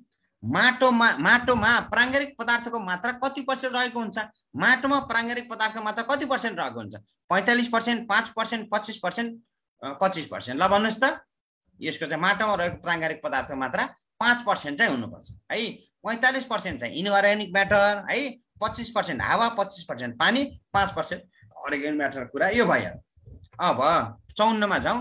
बिरुवालाई बढी मात्रामा कुन तत्त्व आवश्यकता पर्दछ भन्छ? बिरुवालाई बढी मात्रामा कुन तत्त्व आवश्यक पर्दछ? एनपिके पर्छ क्याल्सियम म्याग्नेसियम सल्फर पर्छ जिङ्क बोरन मोडिवेल्टम पर्छ कपर आइरन म्यागनिज पर्छ। भनेर बढी मात्रामा पाइने भनेको कुन हो? आवश्यक पर्ने भनेको एनपिके त्यही भएर यसलाई हामीले के भन्छौँ? प्राइमेरी न्युट्रियन पनि भन्छौँ। है प्राइमेरी न्युट्रियन भन्छौँ। सिएमजिएसलाई हामीले के भन्छौँ? सेकेन्डरी न्युट्रियन पनि भन्छौँ। है यो कुरा यसो ख्याल गर्नु होला अरू माइक्रो न्युट्रियनको कुरा भइहाल्यो अब पचपन्नमा जाउँ। ल। बिरुवामा फस्फोरस तत्त्वको कमी भयो भने के हुन्छ? कस्तो सिम्टम देखिन्छ? पुरानो पातमा सुल्टो भी आकारको पहेँलो हुन्छ नयाँ पातमा सुल्टो भी आकारमा पहेँलो हुन्छ मकैको पातको छेउछेउमा बैजनी रङ देखा पर्छ अथवा माथिको सबै। ल भन्नुहोस् साथीहरू मकैको पातको साइड साइडमा के हुन्छ? बैजनी निलो कलरको बैजनी रङको चाहिँ धर्साहरू के हुन्छ? देखा पर्छ। है त ल। अब छपन्न नम्बरमा तलको मध्ये कुन माटोमा पानी धारण गर्ने क्षमता बढी हुन्छ? भनेको वाटर होल्डिङ क्यापेसिटी कुनमा बढी हुन्छ? पाङ्गो माटोमा हुन्छ बलौटे माटोमा हुन्छ चिम्टाइलो माटो हुन्छ माथिका सबै। ल यसमा सबै साथीले जान्नुहुन्छ क्ले सोइल अथवा चिम्टाइलो माटोमा वाटर होल्डिङ क्यापेसिटी के हुन्छ बढी हुन्छ। सबभन्दा कम कुन हुन्छ भने बलौटे माटो है? अब विभिन्न खेती गर्नलाई सबभन्दा राम्रो माटो कुन हुन्छ भन्यो भने स्यान्डी लोम सोयल भनेर भन्नु होला है? बलौटे दोमट माटो राम्रो हुन्छ है त? ल अब त्यसपछि सन्ताउन्नमा जाउँ। धानमा देखिने खैरो रोग कुन तत्त्व कमीले देखा पर्छ? यो चाहिँ तपाईँ धेरैचोटि आउने क्वेसन हो। कमन क्वेसन पनि राखिदिएको मैले। जिङ्क तत्त्व कमीले चाहिँ हुन्छ है त? ल अब अन्ठाउन्नमा जाउँ। कुन बालीलाई सबैभन्दा बढी नाइट्रोजन मल आवश्यक पर्छ भन्छ? कुन बालीलाई सबभन्दा बढी नाइट्रोजन मल आवश्यक पर्छ? धान बालीलाई आवश्यक पर्छ? मकैलाई पर्छ? उखुलाई पर्छ? अथवा खुट्टे बाली उखुलाई पर्छ? भन्यो भने के हो? खुट्टे बाली उखुलाई अथवा ऱ्याटुन क्रपिङको रूपमा चाहिँ जुन हामीले उखु प्रयोग गर्छौँ त्यसलाई चाहिँ नाइट्रोजन मल बढी आवश्यक पर्छ। नर्मललाई हाम्रो कति उखुलाई एक सय पचास हुन्थ्यो भने ऱ्याटुन क्रपिङको चाहिँ दुई सय चाहिँ रिकमेन्ड गरेछ। है यो कुरा चाहिँ जान्नु पर्यो। अब उन्साठीमा जाउँ तराईको सिँचित क्षेत्रमा धान बालीको लागि सिफारिस एनपिकेको मात्रा कति हो? र तराईको यो पुरानो डेटा अनुसार है नयाँ अनुसार भनेको छैन है मैले पुरानो अनुसार सोधेको। तराईको छिचित क्षेत्रमा धान बालीको लागि सिफारिस एनपिके कति हो भन्दाखेरि एक सय बिस चालिस चालिस एक सय पचास पचास चालिस एक सय बिस पचास पचास साठी तिस तिस। ल भन्नु त साथीहरू। ल एक सय बिस चालिस चालिस है त। ल हाइब्रिड भने फेरि यताको सोच्नु पर्थ्यो है। हाइब्रिड भनेको यताको सोच्नु पर्थ्यो। ल अब साठीमा जाउँ। एकीकृत खाद्य तस्तो व्यवस्थापन अन्तर्गत के कार्य गरिन्छ भन्छ। एकीकृत खाद्य तस्तो व्यवस्थापन अन्तर्गत के कार्य गरिन्छ? खाद्य तस्तो व्यवस्थापन गरिन्छ बाली व्यवस्थापन गरिन्छ माटो व्यवस्थापन गरिन्छ अथवा माथिका सबै। के गरिन्छ ल साथीहरू भन्नुहोस् त। एकीकृत खाद्य तत्व अन्तर्गत के गरिन्छ? सबै कुरा चाहिँ गरिन्छ। माथिका सबै अस्ति सोध्या पनि छ है? सोधेको कुरा पनि छ। ल साथीहरूलाई यति भनेर मैले चाहिँ तपाईँहरूलाई केही कुरा चाहिँ तपाईँहरूको भोलिको लागि चाहिँ तपाईँको केही इम्पोर्टेन्ट कुरा होला भनेर मैले तपाईँहरूलाई राखेँ है? र आजको यो क्लासले कम्तीमा पनि तपाईँहरूलाई केही न केही इन्फर्मेसन चाहिँ पक्कै पनि सहयोग गर्यो है? र भोलि चाहिँ तपाईँको यसबाट केही न केही क्वेसन पनि आउला है? केही न केही क्वेसन पनि आउन सक्छ। त्यो कुरा पनि एकदम साथीहरूले ध्यान दिनु होला। र भोलि इक्जाम नातिकन साथीहरूले कोही साथीहरू पनि नातिकन इक्जाम दिने है? इक्जाम दिन हतार गर्नु भएन हात्तिनु भएन। धेरै साथीहरू हतार गरेर बिगार्नुहुन्छ है? हतार गरेर चाहिँ बिल्कुल बिगार्नु भएन। हतार गरेर बिगार्नु भनेको एकदमै ठुलो घात हो है। ल त्यति कुरा भने मैले र साथीलाई मैले एउटा सानो एउटा हम्बल रिक्वेस्ट मेरो के हो भन्दाखेरि हाम्रो चाहिँ तपाईँको यो एडभान्स ग्रुपको यो advance agriculture Loksewa preparation group भनेर यो ग्रुप छ हेर्नु साथीहरू है। यो ग्रुपमा मैले युट्युबमा सबै भिडियोहरू यो चाहिँ राखिदिएको छु। है साथीहरू यो हाम्रो च्यानललाई सब्सक्राइब पनि गरिदिनु पर्यो र चाहिँ तपाईँहरूलाई यो जति पनि हामीले फिडब्याक क्लासहरू फ्री क्लासहरू छ यो सबै क्लासहरू यो च्यानलमा राखेको छौँ। यो च्यानललाई सबै साथीहरूले जति पनि जोइन हुनुभएको छ सबै साथीहरूले हेरिदिनु पर्यो सब्सक्राइब पनि गरिदिनु पर्यो। है त्यो कुरा अनुरोध गरेँ र मैले अहिले दिएको क्लासको कुरा चाहिँ यो मेरो मुकेश रामजाली भनेर यो फेसबुक पेज छ। यो पेजमा म अहिले राखिदिन्छु है र यो पेजमा सबै साथीहरूले फलो लाइक गरेर अनि यो पेजमा चाहिँ आएर चाहिँ सबै इन्फर्मेसन हेर्न सक्नुहुन्छ र यो पेजमा चाहिँ कृषि सम्बन्धी इम्पोर्टेन्ट नोटिसहरू चाहिँ मैले यसमा राखिदिन्छु जस्तै आज यो लाइभ क्लास पनि यहाँबाट लाइभ पनि गइरहेको छ हाम्रो है लगायत यो क्वेसनको अहिले मैले सबै यसमा पनि राखिदिन्छु। र त्यति कुरा भने मैले दुईवटा कुरा एउटा चाहिँ मेरो फेसबुक पेजको यसमा चाहिँ साथीहरूले चाहिँ रेस्पोन्स गर्नु पर्यो अनि अर्को चाहिँ हाम्रो एडभान्स ग्रुपको चाहिँ यो लोक यो युट्युब च्यानल छ यसमा पनि साथीहरूले रेस्पोन्स गर्नु पर्यो। त्यति कुरा भन्दै मैले आजको क्लास चाहिँ लगभग मैले यहीँनिर इन्ड गरेँ। है अरू केही साथीहरूको क्वेसन छ भने अब चाहिँ राख्न सक्नुहुन्छ। र यस लगतै हाम्रो फेरि के हुन्छ भन्दाखेरि युट्युब च्यानलको कुरा यो छ है त। एडभान्स एग्रिकल्चर भनेर छ। Advance agriculture Lok Sewa preparation group भनेर छ युट्युब च्यानल। है advance agriculture Lok Sewa preparation group भनेर छ। है त रमेशजी क्लियर छ? ल। मैले आज क्लासको फोटो सबै मैले मेरो चाहिँ फेसबुक पेज यसमा राखिदिन्छु। अब यसबाट चाहिँ साथीहरू लिनुपर्ने हुन्छ यसलाई चाहिँ साथीहरूले फलो गर्ने पर्ने हो कि लाइक गर्नुपर्ने के के गर्नुपर्ने जे जे मिल्छ यसमा चाहिँ गर्नु र यसबाट जोडिन सक्नुहुन्छ मसँग। है त? ल। सक्नुभयो सर है? हस् हस् धन्यवाद सर। है सेसनको लागि। र यहाँ धेरैजना साथीहरू हुन्छ भोलिको इक्जाम चाहिँ पक्कै राम्रो गर्नुहुनेछ भने म यहाँलाई जानकारी पनि गराएँ। पक्कै राम्रो गर्नुहुन्छ नि भन्न चाहेँ उहाँहरूलाई। Okay all the very best for your tomorrow's exam है। अनि त्यस पछाडि म अघि त्यही सेम अघिको भिडियो चाहिँ प्ले गरेछु कोही साथीहरू नयाँ जोडिनु भएको छ। भोलि चाहिँ हाम्रो युट्युब क्लासको तर्फबाट चाहिँ कोसेली हामी पठाएका छौँ। लगभग चौबिस बाइस पानाको छ बाइस पेजको छ यो है। यो पानाको यो चाहिँ रिसिभ गर्नुवाला तपाईँहरू जति पनि हामीसँग हुनुहुन्छ। यसको कुनै पनि चार्ज हामी लिने छैनौँ यो पहिलोचोटि हामी तपाईँहरू कोसेली बनाएर दिएका छौँ कि तपाईँ र हाम्रो सम्बन्ध भनेको एउटा अनलाइनमा त भइरहेछ र भौतिक केही दिन सकिन्छ कि भन्ने भएर हामी गरेका छौँ। एनिवेज फेरि अगेनमा भिडियोज प्ले गर्नेछु र भोलिको इक्जाम तपाईँ राम्रो गर्नुहोस् र तपाईँको सफलता नै हाम्रो सफलता हो भन्ने यहाँहरूलाई जानकारी गराउन चाहेँ। ओके सो मैले अघिको भिडियो फेरि कोसेली भन्ने प्ले गरेँ है त। नमस्कार! कृषि लोकसेवा अन्तर्गत सुदूरपश्चिम विशेष पाँचौँ तहको इक्जाममा सहभागी हुने सम्पूर्ण विद्यार्थीलाई सफलताको हार्दिक शुभकामना। र अब तपाईँहरू आफ्नो इक्जाम दिएर निस्किसकेपछि हाम्रो इ ट्युटर क्लासको फ्यामिली तर्फबाट तपाईँहरूको लागि इ ट्युटर कोसेली पठाएका छौँ जसमा तपाईँहरूको केही तथ्याङ्क डाटाहरू र केही उपयुक्त प्रश्न उत्तरहरू र मोडल सेटको ब्याङ्क्सहरू हामी यसमा समावेश गरेका छौँ। चाहिँ फ्री अफ कोर्स हाम्रो ट्युटर क्लासको टिमबाट रिसिभ गर्न सक्नुहुन्छ। जसको कुनै पनि चार्ज लाग्ने छैन।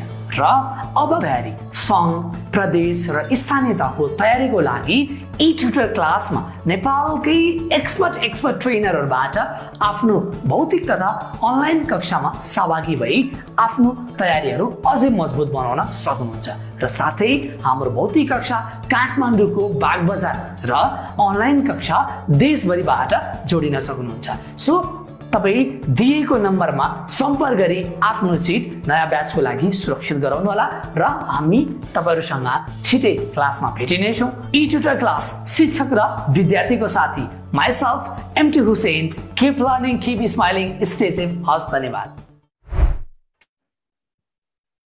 तर यहाँ लेभल फोर्थको हुने साथीहरूको लागि जानकारी गराउन चाहे तपाईँहरूको लागि नयाँ ब्याच स्टार्ट हुँदैछ।